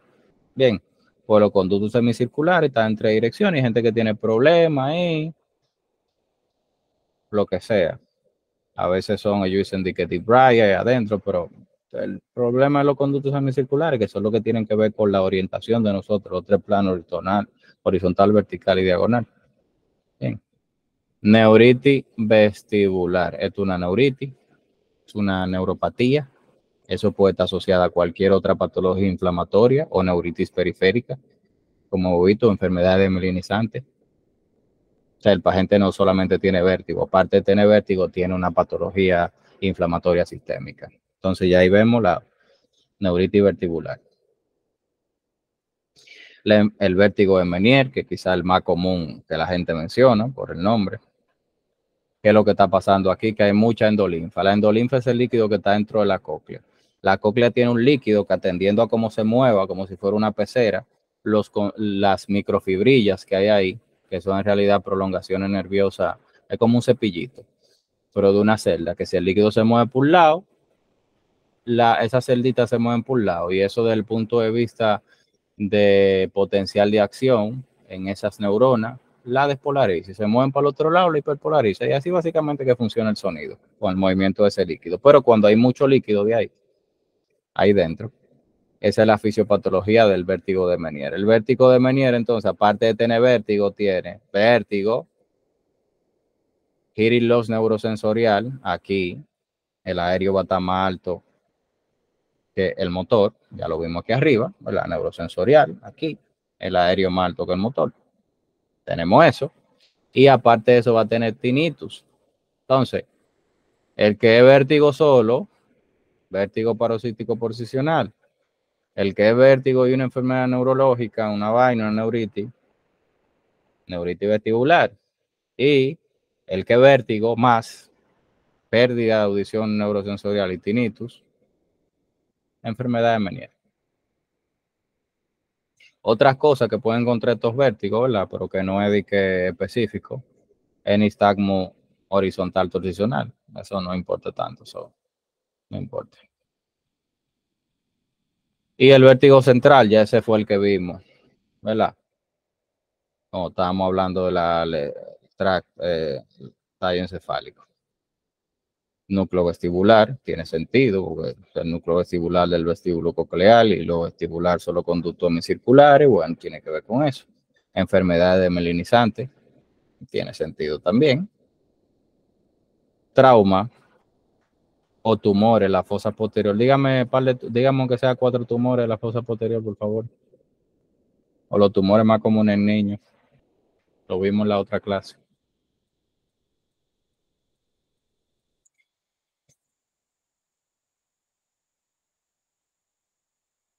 ¿No se acuerdan? ¿Cuál es la célula más común en el sistema nervioso central?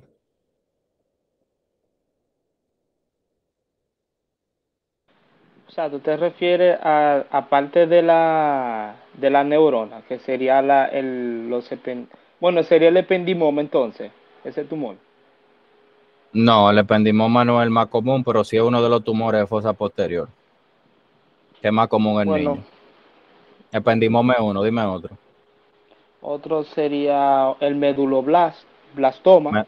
meduloblastoma, sí, pero te está acordando y no estás razonando. Pero está bien, la memoria está buena, sigue. el que te diga otro tumor más. El más común, el que primero tiene que decirme ese, porque esa es la célula más común, porque también es el tumor más común en adultos.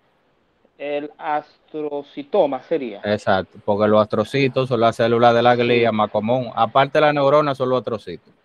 Sí, sí. Entonces ya me dijiste, ya me dijiste tres, falta uno para decir cuatro ahí, hombre, el otro dime uno, de, dime uno de fosa, de fosa anterior. Dime uno de la hipófisis, niño, ahí, hombre, para completar. Bueno, el, el, ¿cómo se llama? El de la leche, el, el prolactinoma. Ese es más común en adultos. El craniofaringioma es más común en niños. Pero ya estamos bien, estamos bien. Ah, Está bien. Ven. Pero para que entiendan con qué se relaciona esto, tumores, todos esos tumores que mencionamos, menos el cranofaringioma que de fosa anterior, porque está la hipófisis. Fosa posterior, recuerden, es cerebelo, tiende el cerebelo, todos esos tumores que son más comunes en niños. No porque sea más, no porque sea más común en niños, a un adulto no le va dando un ependimoma o le va a dar un atrocitoma en el cerebelo. No, es más común en niños, pero puede pasarle a... Entiendan eso. Cuando dicen más común, no es que el 100% la vez quizá más común muchas veces el 51%, ¿eh? Pero para que muchas veces no digan de que, ah, no, es un niño, no puede ser tal tumor. No, no, no te fijes en eso entonces. Sí, busca un, la histología, busca otra vaina, pero sí, por la edad sí, ayuda, ayuda, pero no es de definitivo para un diagnóstico. Eh, listo, como tiene problemas central, ¿verdad? Y dijimos que central tiene que ver con tronco cefálico, y la cabeza y eso. Entonces va a tener problemas de diplopía, dismetría, ataxia, principalmente porque tiene que ver con la columna dorsal también. Por eso es vértigo. Bueno, entonces eso fue visión. Que en visión aprendan entonces vértigo, lo diferente. Se fijan que eso es como, esto como la demencia. Vértigo solo, tal vaina. Vértigo y tal. Pero te refería a audición, ¿será? Sí, sorry que audición es esta, la parte de vértigo es como las eh, demencias. Demencia y, la gente está diciendo mucha loquera. Eso es fronto temporal, que es ello. Ok. El ojo. Una anatomía básica del ojo. Bien.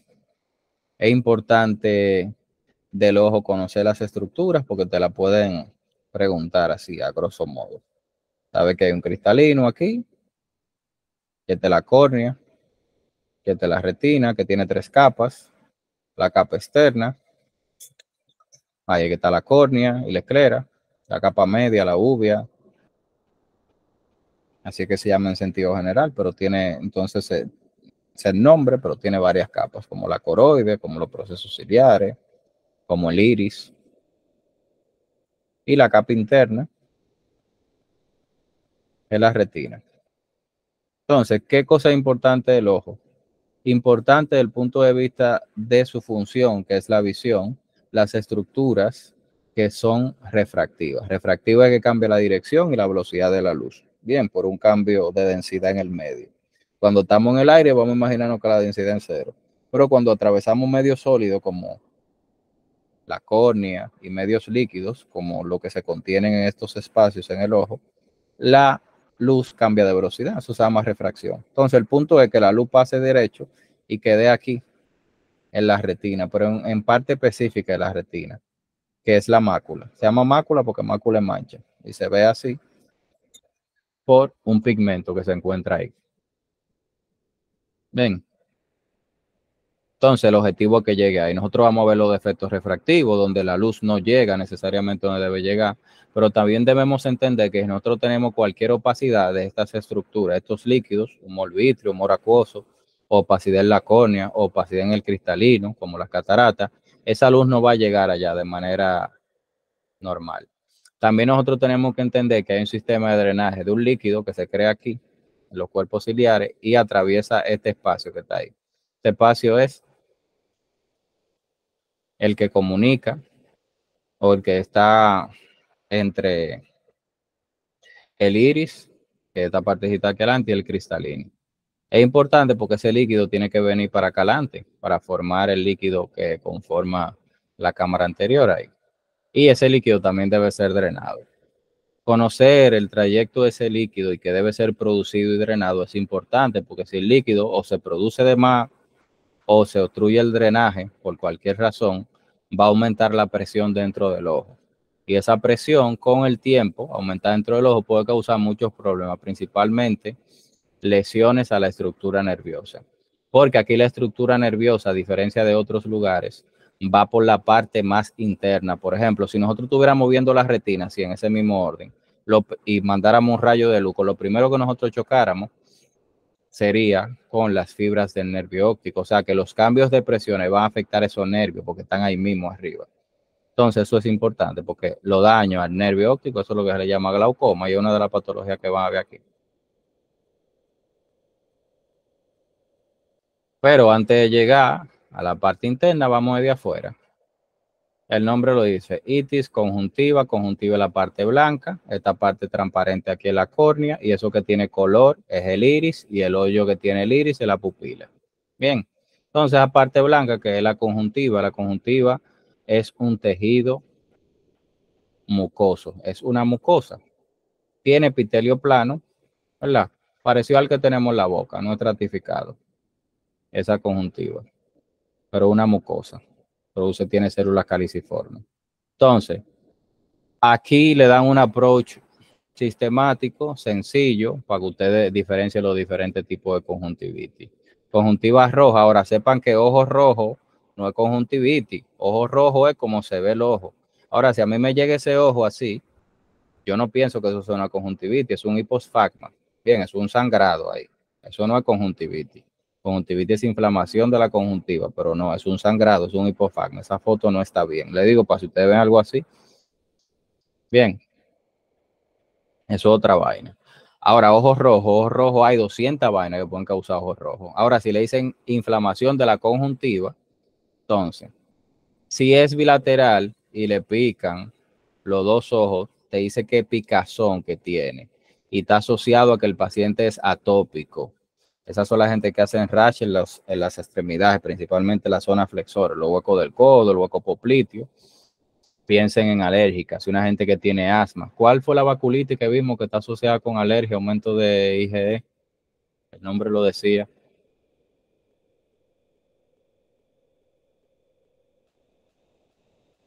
Saludos, buenas tardes.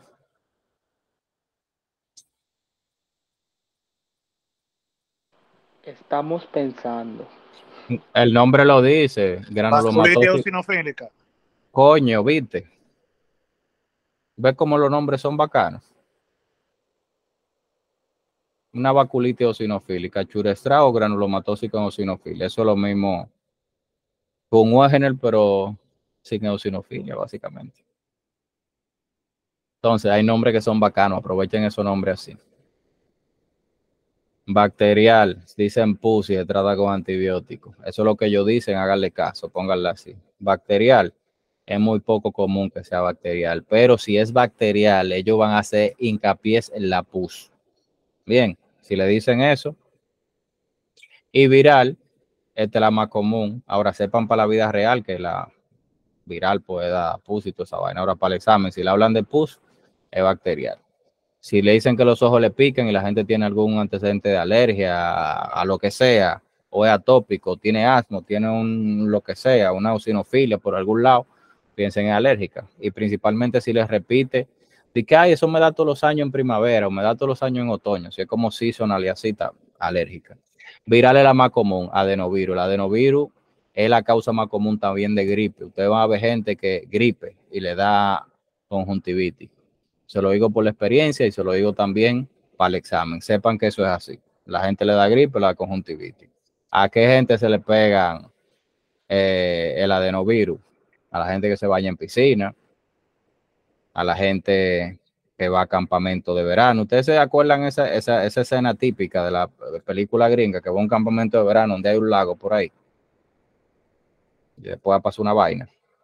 Es el escenario donde pega, es el escenario donde se pega la conjuntivitis, porque en esos escenarios se vive en hacinamiento. Ustedes se fijan que todo el mundo va y se baña en el lago, después van y todo el mundo vive, van y duermen todito en una habitación en la cabaña. Pero también hay otros comportamientos donde la gente vive en hacinamiento en la cultura estadounidense, que es la universidad, las fraternidades y los dorm house que viven de a dos por habitaciones mínimo, ¿verdad? También en el ejército, lugares donde hacinamiento adenovirus, como ellos más se lo van a presentar, va a ser unos niños que se fueron de campamento, que estaban bañando la piscina, una vaina así. ¿Está bien? ¿Y qué van a tener ellos? Las secreciones no van a ser pus, sino mucosa o acuosa. En el examen físico, como es una complicación o pueden tener gripe concomitantemente o darle después que se la la gripe, pueden encontrar el nodo periauricular persistente aumento la lagrimación y se quita solo. Pero por si acaso le preguntan el tratamiento. En la vida real sí le ponemos tratamiento porque a la gente va porque le molestan los ojos y como tú le vas a decir, no, eso que usted le está molestando ahora, usted tiene que aguantarse una semana más. Aunque se quita solo, ¿eh? Para el examen se quita solo. Tratamos las otras aquí. Entonces, eh, aquí hay cosas importantes que debemos repasar rapidito.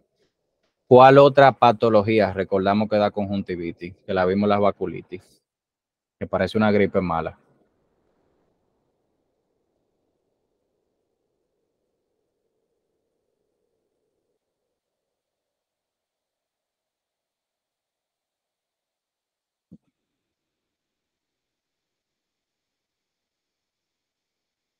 ¿Y cuál otra enfermedad viral causa conjuntivitis aparte de la adenovirus?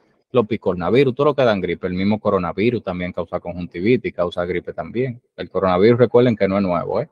Eso es viejo, lo que pasa es que se puso de moda, como la H1N1, que es un tipo de influenza por año, que sacan una vaina nueva para poner a la gente loca.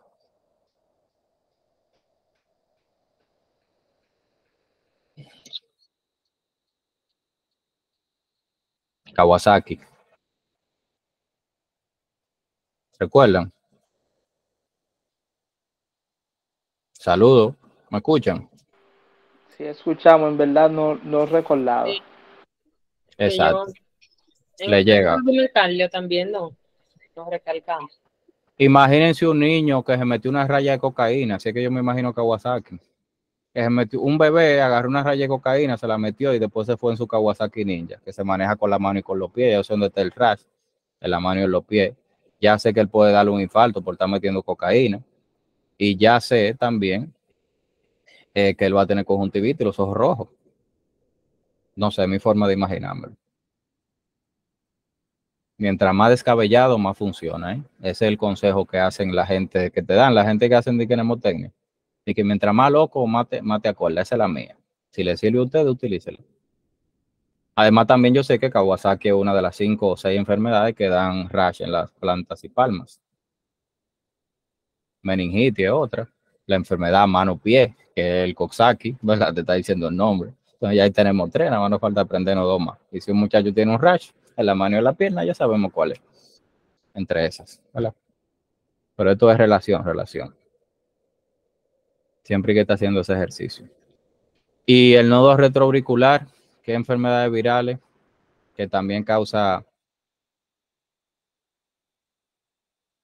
conjuntivitis bueno, ese quizá usted no se va a acordar, pero es la misma, el sarampión, que causa cough, coriza y, con, y conjuntivitis. O sea, tos, moqueando y conjuntivitis. Ya ahí tenemos toda la conjuntivitis, que son estas que están aquí, las que estamos viendo, bacterial, viral, alérgica, pero de las virales, la que es normal, ¿verdad?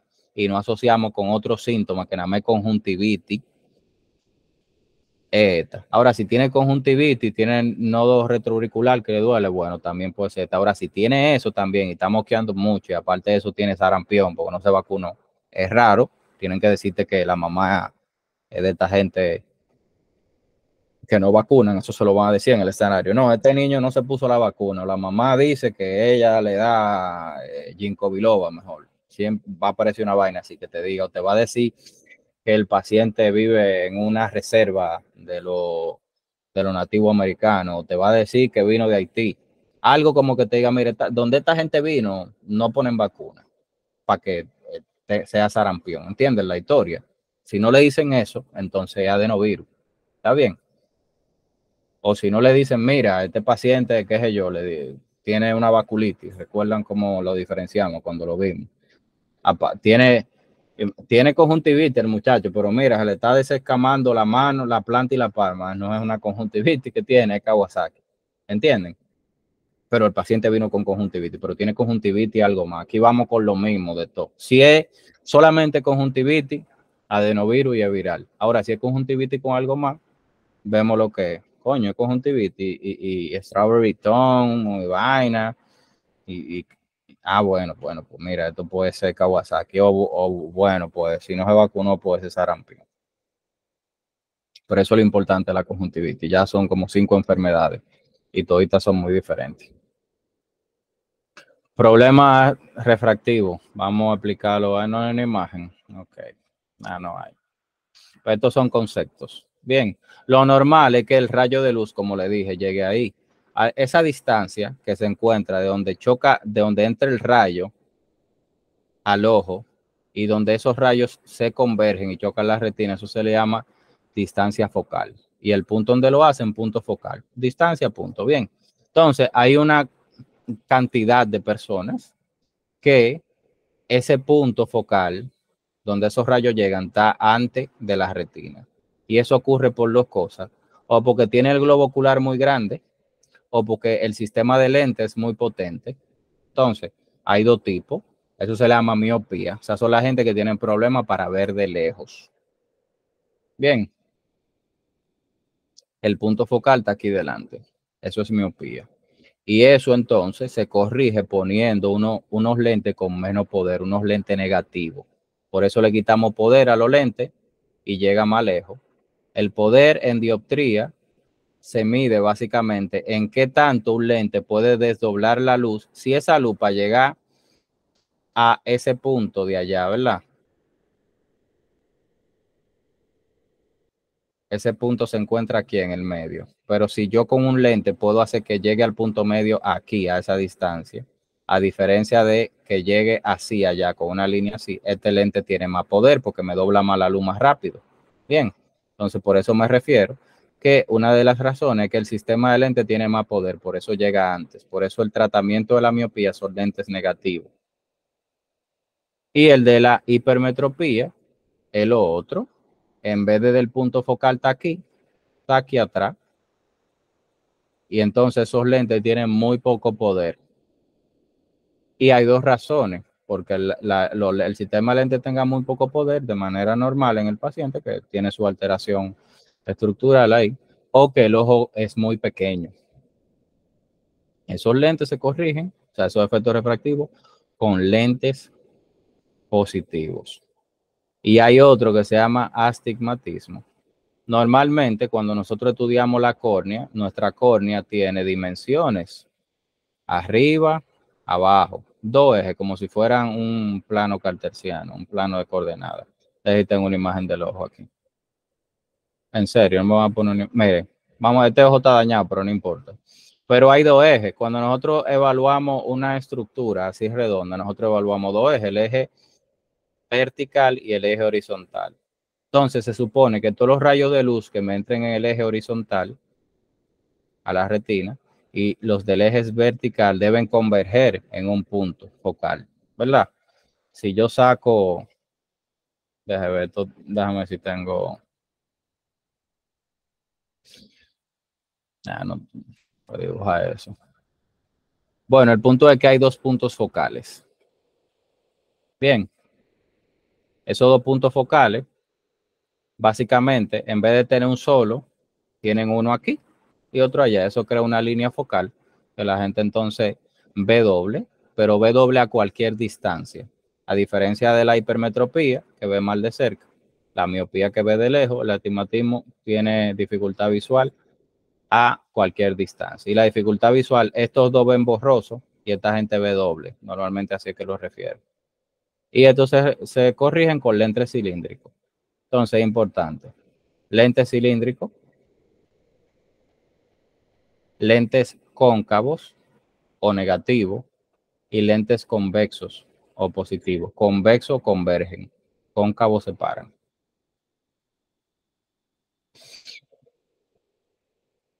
Otras alteraciones, presbicia. La presbicia es, miren, esta partecita de aquí que sostiene el cristalino son los procesos ciliares. Esos procesos ciliares son como unas fibras elásticas que se contraen y se relajan. El punto es que eso está pegado de ahí. Y eso con la edad se va despegando, se va dañando. Bien, ¿a qué edad comienza eso a dañarse? Aproximadamente a los 40 años. Una gran cantidad de personas, la mayoría de hecho, a los 40 años tiene problemas para la acomodación. La acomodación es cuando nuestro cristalino se deforma para cambiar su curvatura y nosotros poder leer de cerca. Esas son esas personas que no pueden leer de cerca. Es un proceso fisiológico natural, bien, que se llama presbicia y se corrige con lentes positivos. O sea, que si una gente de 40 años, 45, por ahí viene con esos problemas visuales, eso con lentes positivos, no hay ninguna patología importante. se corrige fácil. Catarata es una opacidad de esta estructura que está aquí del cristalino, ese corte ahí mapa, esto que está aquí. Entonces el alumno va a pasar de manera normal ahí. Todo el mundo va a tener cataratas, todo el mundo se va a operar de cataratas, porque el cristalino es un órgano que se desarrolla en la vía embrionaria y desde el punto de vista inmunológico no se encuentra comunicado con ninguna otra estructura. Sus productos de desecho no se del punto de vista, algunos metabolitos no se desechan y se almacenan en el cristalino, se va almacenando, almacenando y eso con el tiempo le va quitando transparencia y se pone opaco. Y aproximadamente a los 60 años, la mayoría de personas tiene algún grado de catarata que le dificulta la visión. Todo el mundo, si no se muere, se va a operar de catarata. Bien, así que sepan que es un proceso fisiológico normal y que es una patología muy común en pacientes de más de 60 años sanos. Ahora, pacientes con diabetes, pacientes con enfermedades inflamatorias, pacientes con enfermedades metabólicas, todas esas enfermedades que ustedes vieron de intolerancia a los carbohidratos, galactosemia, todo ese tipo de cosas pueden causar cataratas antes de la edad que deberían causarse de manera normal. Es una pacificación indolora que causa disminución de la visión, especialmente de noche, y pérdida de reflejos rojos. No, si es muy grande, sí. Claro, esto en un adulto, en un niño, si ustedes ven pérdida de reflejos rojos, deben pensar en otra patología.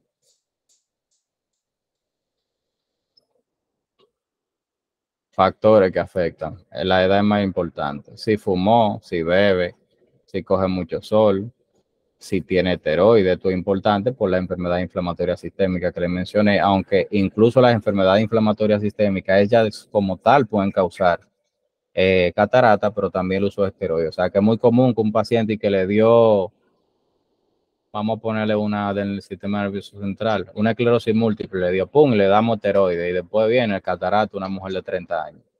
Muy normal. Diabetes, más común. Vamos a suponer un paciente diabético comparado con un normal, a los 50, 45 años tiene catarata. Trauma, si al ojo o al cristalino se tocó y se le dio un trauma, hizo una catarata. Eso es así. Infecciones, sea, la causa menos común, la infección. Pero trauma es una común. Principalmente una gente que grabando un clavo para un ojo por una catarata. Esa gente que sacarle el clavo para le ese catarata. Porque eso va a ser una catarata en un mes. Como le dije, las otras enfermedades metabólicas, galactosemia, galactokinase deficiency, las trisomías todita, torch todita. Vamos a ver eso cuando estemos viendo gineco, pero también ustedes lo vieron cuando estaban dando efecto esa vaina. El nombre le dice lo que es torch, es una nemotecnia ahí. Está rubela, que es la R, ¿verdad? Síndrome de Marfan, ustedes saben lo que es eso. el síndrome de Alport. ¿Vimos el síndrome de Alport? ¿Qué era eso?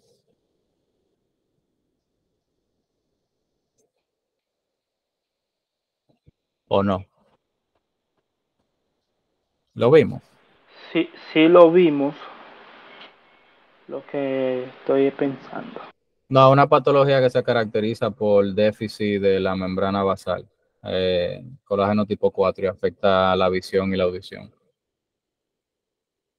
Yo me acuerdo al por todos los puertos. Los puertos de entrada de nosotros son la visión y la audición. No sé, una forma de acordarme. Distrofia miotónica, estos son los pacientes que son calvos, que tienen pubertad precoz, que tienen pubertad precoz desde el punto de vista de calvicie de que a los 18 años. Digo, eso no es pubertad precoz, ¿verdad? No debería, ese no es el término adecuado. Eh, y que se quedan agarrados con los llavines abriendo la puerta y contracciones. Distrofia miotónica, por eso se quedan con la contracción. Neurofibromatosis tipo 2, o sea que las cataratas están asociadas con toda esa patología. Si el paciente tiene una catarata a los 60, 65 años, normal. Si la tiene antes, si es un niño, deben pensar en todo eso que está aquí abajo. Bien. Y si es un adulto, deben pensar en edad no, pero piensen en diabetes, una causa común. Y si un adulto joven, 30, 35 años, piensen en trauma y piensen en uso de esteroides.